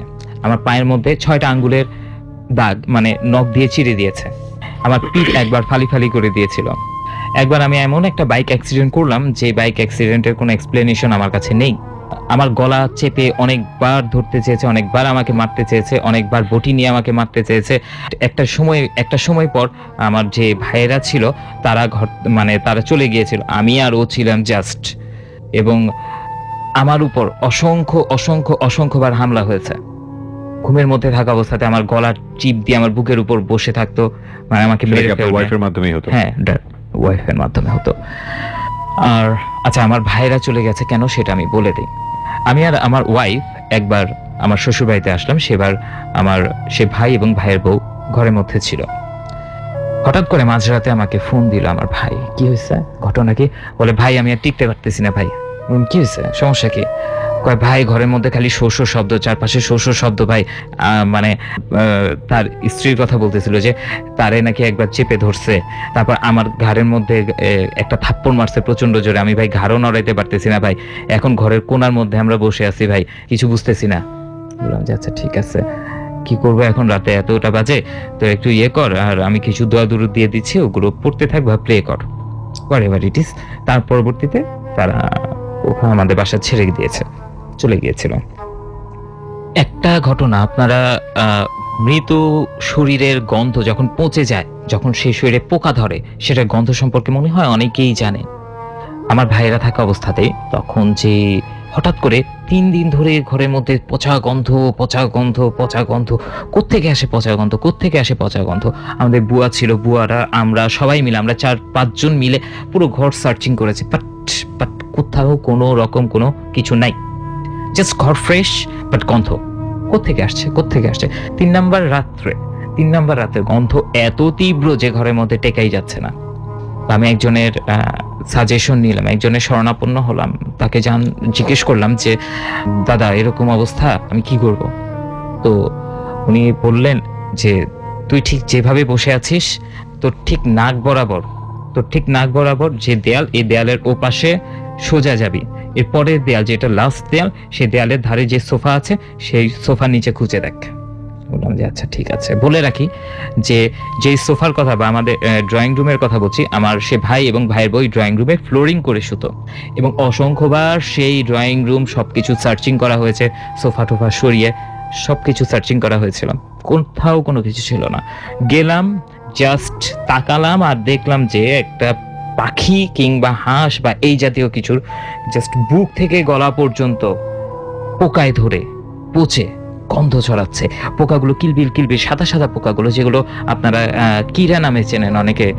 তো সেই পোকাগুলো এত বিশ্রী গন্ধ মানে টেকা ইম্পসিবল কোনোভাবে ওটা পরিষ্কার করা হলো ইয়ে করা হলো। বিলিভ মি মাঝে মাঝে এখনও এই পোকাগুলো কোত্থেকে জানি উড়ে আসে উড়ে এসে আমার ওয়াইফের গায়ে পড়ে। কোথা থেকে উড়ে আসে? উড়ে এসে আমার গায়ে ওয়াইফের গায়ে পড়ে বা ঘরের মধ্যে থাকে। তারপরে শরীরের মধ্যে জিন ভর করা শুরু করল। একটার পর একটা জিন ভর করা। জিনগুলোর সাথে আমি কথা বলতেছিলাম বিশ্বাস করেন যে এক একটা এক এক রকম। মানে একাধিক জিন? একাধিক জিন।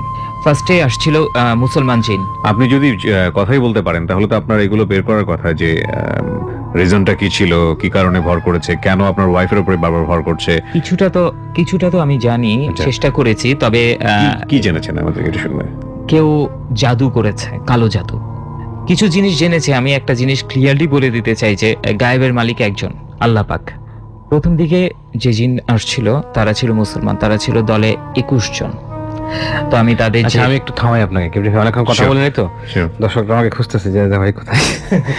আচ্ছা এই যে একুশটা জিন আসলো বা ফ্র্যাঙ্কলি আমি আজকে হ্যাঁ? প্রথম প্রশ্ন করব আপনার ওয়াইফের নাম কি? পি দিয়ে শুরু কিনা? জি। আচ্ছা একুশটা জিন যে আসলো এই ব্যাপারটা বা জিন যে তার ভিতরে আসলো এগুলো আপনি কীভাবে কনফার্ম হলেন? প্রথম কথা যখন একটা মানুষের শরীরে বা আমার ওয়াইফের শরীরে মানে যখন জিন ভর করতো তার একটু আচার আচরণ তার কথাবার্তা চেঞ্জ হয়ে যেত। ভাষা অন্যরকম হতো। যেমন অনেকটা হচ্ছে আনজালনা ইকরি এই জাতীয় মানে আমি আসলে মানে ভাষাগুলো কি অ্যারাবিক নাকি নাকি ফ্রেঞ্চ আসলে এটা অ্যারাবিক ভাষা নাকি ফ্রেঞ্চ ভাষা? আজগুবি কিছু কথা আজগুবি ভাষা এবং আজগুবি ভাই আমরা জানি যখন ওই যে ঝাড়ফুকের নামে কোনো কিছু ফু দেওয়া হয় যদি সেটা অস্পষ্ট হয় কোনো ভাষার বোঝা যাচ্ছে না বা আরবি না বা ভালো কিছু না সেটাই ব্ল্যাক ম্যাজিক একটা লক্ষণ। বা কেউ যেগুলো বলে মুখ দিয়ে শব্দ করে যেগুলো বোঝা যাচ্ছে না তাহলে সামথিং রং প্রথম দিকে যারা আসছিল বললামই যে একুশ জন আসছে তাদের ভাষ্য মতে একুশ জন আসলে আমি তো দেখতে পারি না তাদেরকে। তারা কয়জন এটা মেজারও করতে পারব না। তো আমি তাদের সাথে কথা বললাম বললাম খুব ফ্রেঙ্কলি বেশ কয়েক ধাপে কথাবার্তা বললাম। আপনারা তো আসছেন আপনারা ঠিক আছে আপনারা মুসলমান আপনি আমাকে বলছেন যে আপনি মুসলমান বাট এই যে একজনের যে এত বড় ক্ষতিটা করতেছেন তার যে ক্ষতিগুলো হচ্ছে ভাই আপনি আল্লাহর কাছে কি জবাব দিবেন? প্রশ্ন করছি সরাসরি প্রশ্ন করছি। সে আসলে একটু ইয়ে করল যে আসলে সবকিছু আমাদের নিয়ন্ত্রণে থাকে না আমরা না চাইলেও আমাদেরকে অনেক কিছু করতে হয়। কেউ তাদেরকে চালান করছে এটা বলতে যাচ্ছেন। রাইট সে এটা বলতে চাইছিল। আচ্ছা। যাই হোক পরবর্তীকালে সে আমাকে কথা দিছে যে সে কোনো ক্ষতি করবে না কিন্তু এরপরেও আসবে। তারা হয়তো বা ছেড়ে যাবে না। তারও একুশ জন আসে নাই আর। আমি আরেকদিন সকালবেলা ঘুম থেকে উঠলাম, তখন আমি জব করি না। ঘুম থেকে উঠে আমি খুব অদ্ভুত একটা দৃশ্য দেখলাম যে আমার স্ত্রী বিছানার ধারে বসে আছে, নিচে বসে আছে ফ্লোরে। ফ্লোরের মধ্যে কোত্থেকে জানি সিঁদুর দিয়ে ওম ওম হিন্দুদের কিছু মন্ত্র লেখা, তার হাতে, কপালে, মুখে, ঘাড়ে সমস্ত কিছু ওই সিঁদুর দিয়ে লেখা। এবং পাশে একটা গ্লাসে পানি ছিল আমার যদ্দূর মনে পড়ে এবং আমি যখন ঘুম থেকে উঠলাম তখন বল সে আমাকে বলল যে আয় তোর সাথে কথা আছে তোর সাথে কথা আছে দেখেই আমি আসছি নাইলে আমি তোর বউরে মাইরাত হয়ে যেতাম বিরতি নিব প্রিয় শ্রোতা এই পর্যায়ে আমরা ছোট্ট একটা বিরতির পর গল্পের শেষ ভাগে ফিরবো। ভেরি ভেরি ইন্টারেস্টিং স্টোরি একটা জিনিস অবশ্যই মনে রাখতে হবে উনি যেগুলো বলছে সেগুলোর ব্যাখ্যা যারা সাইকিয়াটিস্ট আছেন তাদের জায়গা থেকে হয়তো বা সাইন্টিফিক এবং আম, আমাদের জায়গা থেকে এটা নন সাইন্টিফিক কোনো ধরনের কোনো রিলিজিয়নকে আমরা ছোট করছি না, কোনো ধর্মীয় বিষয়কে আমরা ছোট করছি না। এখানে যারা ইসলাম ধর্মের আছেন তাদের জায়গার থেকে বিষয়টি খুব স্বাভাবিক হলেও যারা হয়তো হিন্দু ধর্মের আছেন, তারা এই বিষয়টি শোনার পরে হয়তো মনে কষ্ট পেতে পারেন। দেখুন, এটাকে একটা বিচ্ছিন্ন ঘটনা হিসেবে আপনারা নেবেন, এটা একটা স্টোরি হিসেবে নেবেন। প্রত্যেকটি রিলিজিয়নের মানুষ যারা আমাদের অনুষ্ঠানটা শুনছেন, সবার ধর্মের প্রতি আমাদের রেসপেক্ট আছে এবং এটা ওনার ব্যক্তিগত ঘটনা এবং কেউ যদি কোনো হিন্দু এসে যদি এখানে স্টোরি বলেন, সেখানে যদি কোনো মুসলিম জিন তাকে অত্যাচার করে, সেটাও যদি তার লাইফের একটা ঘটনা হয়, আমরা সেইটা প্রচার করাতেও আমরা সমান অধিকার দিব। সুতরাং এই বিষয়টা নিয়ে কোনো প্রকার ধর্মীয়ভাবে, অন্যভাবে এটাকে ব্যাখ্যা করা বা বিষয়, বিষয়গুলোকে ধর্মীয় দৃষ্টিকোণ থেকে অন্যভাবে দেখা, এটা মোটেও বিচক্ষণতার ব্যাপার হবে না। আমরা ছোট্ট একটা বিরতি নেব, মাত্র পাঁচ মিনিটের, এরপর আজকের দিনে শেষবারের মতো ফিরছি। এই স্টোরিটা কোথায় গিয়ে দাঁড়িয়েছে, বিশেষ করে ছবিগুলোর ব্যাখ্যা কি? যে ছবিগুলো ফেসবুকে আমি দিয়ে দিয়েছি, সেগুলো নিয়ে কথা বলব, ছোট্ট একটা বিরতির পর। ডর এক্লিপস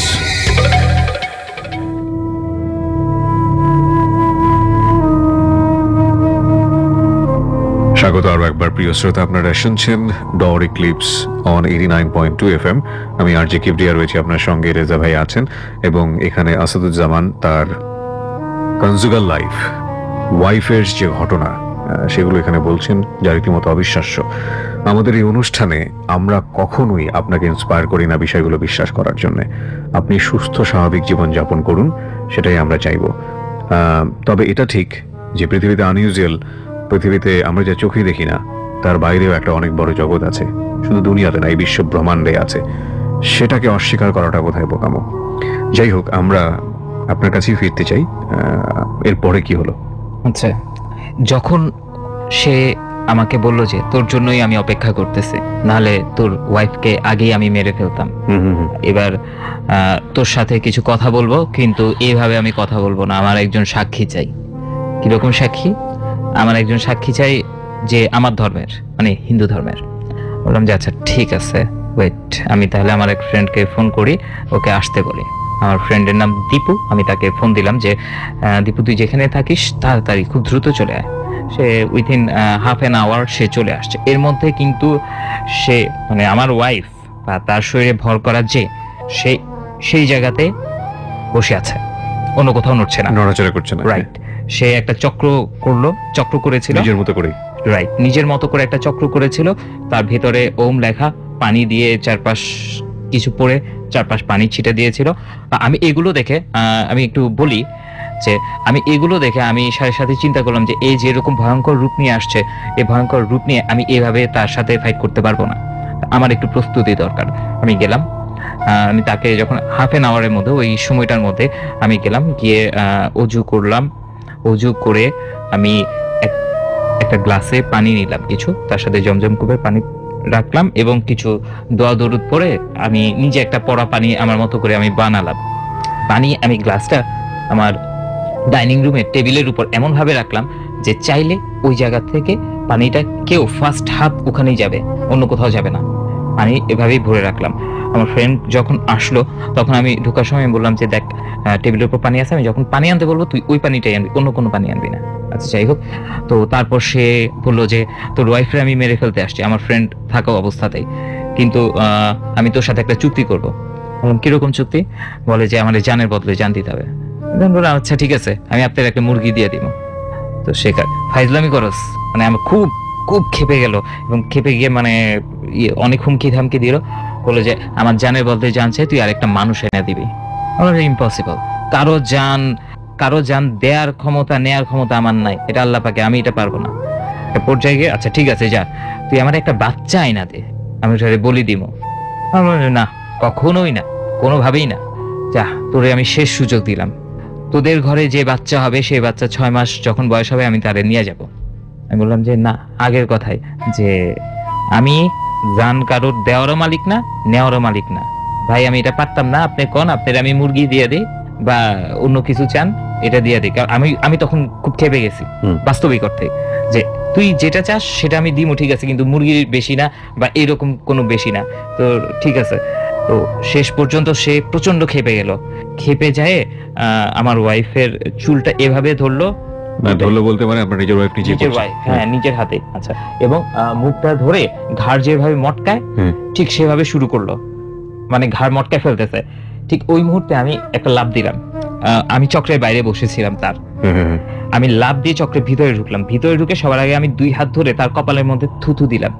হাতের মধ্যে থুথু দিলাম। ইন দ্য মিন টাইম সে আমার সাথে জোর খাটাচ্ছে। এবং ওই সময়টাতে জোরটা কেমন হয় আপনার? নর্মাল প্রচণ্ড জোর। বিলিভ মি যে চারজন প্রাপ্তবয়স্ক পুরুষ মানুষ তাকে ধরে রাখতে পারে না। আমি যে আমার যে ফ্রেন্ডের কথা বলছিলাম সে পরবর্তী সময় আমার বাসাতে সে এমন আঘাতপ্রাপ্ত হয়েছে সে এখন তার কোমর ব্যথায় ভোগে। আচ্ছা তারপর কি হলো? আচ্ছা যাক। তারপরে আমি তার দুই হাত চেপে ধরে তার কপালে মুখে হাতে থুথু মারতে থাকলাম এবং আমি জোরে জোরে চিৎকার করলাম যে দীপুজা ওই টেবিলের উপর পানি আছে নিয়ে। নিয়ে আসলো যখন আমি বললাম যে তাড়াতাড়ি সারা শরীরে সব জায়গাতে ছিটা। এর আশেপাশে যখন যে চক্রের মধ্যে যে লেখাগুলো ছিল আমি ওখানেও থুতু মারতেছিলাম এবং হাত এবং পা দিয়ে বারবার ঘষে লেখাগুলো মুছে দিতেছিলাম। আসলে আমি জানি না যে আমি তখন কেন ওগুলো করতেছিলাম কীভাবে করছিলাম। আপনি নিজের মতো করেই করছেন। রাইট বাট আমার আমার সেন্সে যেটা ধরেছে যে কোনো একটা যদি আমার সামনে কোনো একটা চক্র কোনো একটা জাদু কোনো একটা খেলা যদি হয় সেই চক্রটা খেলাটা বন্ধ করার জন্য আমার অবশ্যই অ্যাটেম্পটা ওই চক্রের ভিতরে আপনি বুঝে না বুঝে করছেন। হ্যাঁ তারপর কি হলো? দেন তারপরে যখন ওইগুলো মুছে গেল তারপরে আমি আমার জানা কিছু ব্যাপার ছিল ওগুলো আমি পড়লাম এবং তাকে শরীর থেকে দূর করে দিলাম। হোয়াট এভার ইট ইজ পরবর্তী সময়ে তার সাথে চুক্তি হলো যে সে ছাগল নিবে। সে ছাগলে রাজি হলো। এছাড়া সে কোনোভাবেই পিছু ছাড়বে না। আমি বললাম যে ছাগল নেবে তাও আবার নির্দিষ্ট অঙ্কের টাকার ছাগল। আমি বললাম যে নির্দিষ্ট অঙ্কের টাকার ছাগল আমি কোথায় পাবো? এক দোকানদারের কাছে আমি গিয়ে বললাম যে, ভাই, আমার ছাগল দেন। সে বলবে যে, পাঁচ হাজার কিংবা দশ হাজার। আমি তোমার জন্য এই টাকা বা তুমি যে নির্দিষ্ট টাকার অঙ্ক বলে দিছো, যেমন ধর আপনার তার ইয়ে ছিল যে, উনিশ হাজার নয়শো সাতানব্বই টাকা। আর তার সাথে সম্ভবত ষাট টাকা ছিল হচ্ছে অন্যান্য আনুষঙ্গিকের জন্য। এই টাকা ছাগল আমি কোথায় পাবো? ওই আচ্ছা ঠিক আছে, তুই আমার টাকা দিয়ে দে। আচ্ছা টাকা কীভাবে দিব? আচ্ছা টাকা তুই একটা পোটলা বাঁধবি পোটলা বাইন্দা ঘরের মধ্যে রাখবি, যেখানে রাখবি, তোরা ঘর সবাই ঘর থেকে বের হয়ে যাবি, আমি এসে নিয়ে যাব। ভেরি ইন্টারেস্টিং ফাইন মানে এই সায়েন্স বলে এখানে। টাকার ব্যাপার জিনটাও টাকা যায় না না না এখানে একটা ব্যাপার আছে। যদি এখানে ব্যাখ্যাটা দাঁড় করায় সায়েন্স তাহলে ব্যাখ্যাটা দাঁড় করবে এরকম যে আপনার ওয়াইফ ভান ধরেছে আপনার কাছ থেকে অর্থ পেত না এবং যে কারণে এই- পদ্ধতি করে সে আপনার কাছ থেকে টাকা আদায় করার চেষ্টা করছে। যেটা অনেক সময় হয় আমাদের বিভিন্ন সময় আমরা দেখি যে আসলে পোজেস্ট ভান করে বিশেষ একটা উদ্দেশ্য হাসিল করার জন্য। কিন্তু বিষয়টা কি আসলে তাই? কারণ যে ছবিগুলো আমরা ফেসবুকে দিয়েছি প্রিয় শ্রোতা এই ছবিগুলোর প্রত্যেকটা ছবির ব্যাখ্যা আছে। আমরা আজকের অনুষ্ঠানের সময় করে সে ব্যাখ্যা হয়তো আপনাদেরকে উপস্থাপন করতে পারব না কারণ এটা কন্টিনিউশন থাকবে। আমরা কি দাঁড়াবে আসলে শেষ পর্যন্ত সেটা দেখতে চাই, তবে সেটা আজকের অনুষ্ঠানে সম্ভব হচ্ছে না, আমাদের সময় স্বল্পতার কারণে। এবং এই গল্পটা এতটাই সেন্সিটিভ এতটাই ভয়াবহ, আমি শুধু এতটুকুই বলতে চাই যে, আমি এখন পর্যন্ত কোনো সাইন্টিফিক ক্লু পাইনি। I study lot about this kind of thing এবং আমি অবশ্যই বাংলাদেশের যারা খুব বড় মনোরোগ বিশেষজ্ঞ আছেন তাদের সঙ্গে কথা বলব। যদি আমি কিছু পাই তাহলে অবশ্যই আমি সামনের পর্বে আপনাদের জন্য হাজির করব। রেজা ভাই শেষের দিকে এসে কিছু বলতে চাচ্ছিলেন। আমার মনে হয় আমি আপনাকে রিকোয়েস্ট করব যে পুরো স্টোরি না শুনে আপনার মনে হয় সেটা বলাটা উচিত হবে না? আপনাকে দুইটা প্রশ্ন করব। ছোটখাটো প্রশ্ন। আপনার কি যেগুলো শুনলাম আপনার কথার ভঙ্গি বচন ভঙ্গি বডি মুভমেন্ট সেখানে দুইটা জিনিস আমি দেখতে পাচ্ছি। মানে আমার মনে হচ্ছে জাস্ট মনে হচ্ছে আপনার কি বৃষ রাশি কিনা? জি। আচ্ছা আপনার কি এপ্রিল মাসের ঠিক শেষের দিকে জন্ম কিনা? এপ্রিলের উনত্রিশ। আচ্ছা মানে শেষের দিকে। এই রাশির যারা জাতক আছে উনত্রিশ বা তিরিশ পঁচিশ থেকে তিরিশ এদের সাথে অনেক প্যারানর্মাল ঘটনা ঘটে এটা প্রথম কথা। এটা আমি সবাইকে ভয় দেখাচ্ছি। ফাইন কিন্তু আমাদের রিলিজনের জায়গা থেকে অনেকেই রাশি হ্যাঁ, বিষয়ে বিশ্বাস করেন। আমি নিজে বিলিভ করি না। Just according to book according to রাশিচক্র star স্টারের কিছু বুকস পাওয়া যায় ইন্ডিয়াতে কুণ্ডলি কিতাব বলে হুম কুণ্ডলি কিতাবের মত মোতাবেক। ওগুলো তো লেখছে কোনো মহাজ্ঞানী মানুষ হয়তোবা। আর আপনার স্টোরি যতটা শুনলাম এটা হয়তোবা নাইনটি পার্সেন্ট শুনলাম আমরা হ্যাঁ? কি ভাবে নাইনটি পার্সেন্ট না। না কত পার্সেন্ট কত পার্সেন্ট আপনি আমার story sixty percent forty percent আমরা ফিরে আসব প্রিয় শ্রোতা। আমরা আজকে শেষ করতে চাই। রেজা ভাই আমরা পুরো স্টোরিটা শুনি তারপরে আমার মনে হয় কথাটা বলাটা উচিত হবে। সো অপেক্ষা করুন এবং যারা আগে বলতেন যে এক ঘন্টায় শেষ হয় না দু ঘণ্টা করো তারা এখন কি বলবেন? জীবনে আসলে যা ঘটে, তা আসলে ঘণ্টার হিসেবে ধরে রাখা যায় না। বাই দ্য ওয়ে আজকের মতো শুভরাত্রি। ডর এক্লিপস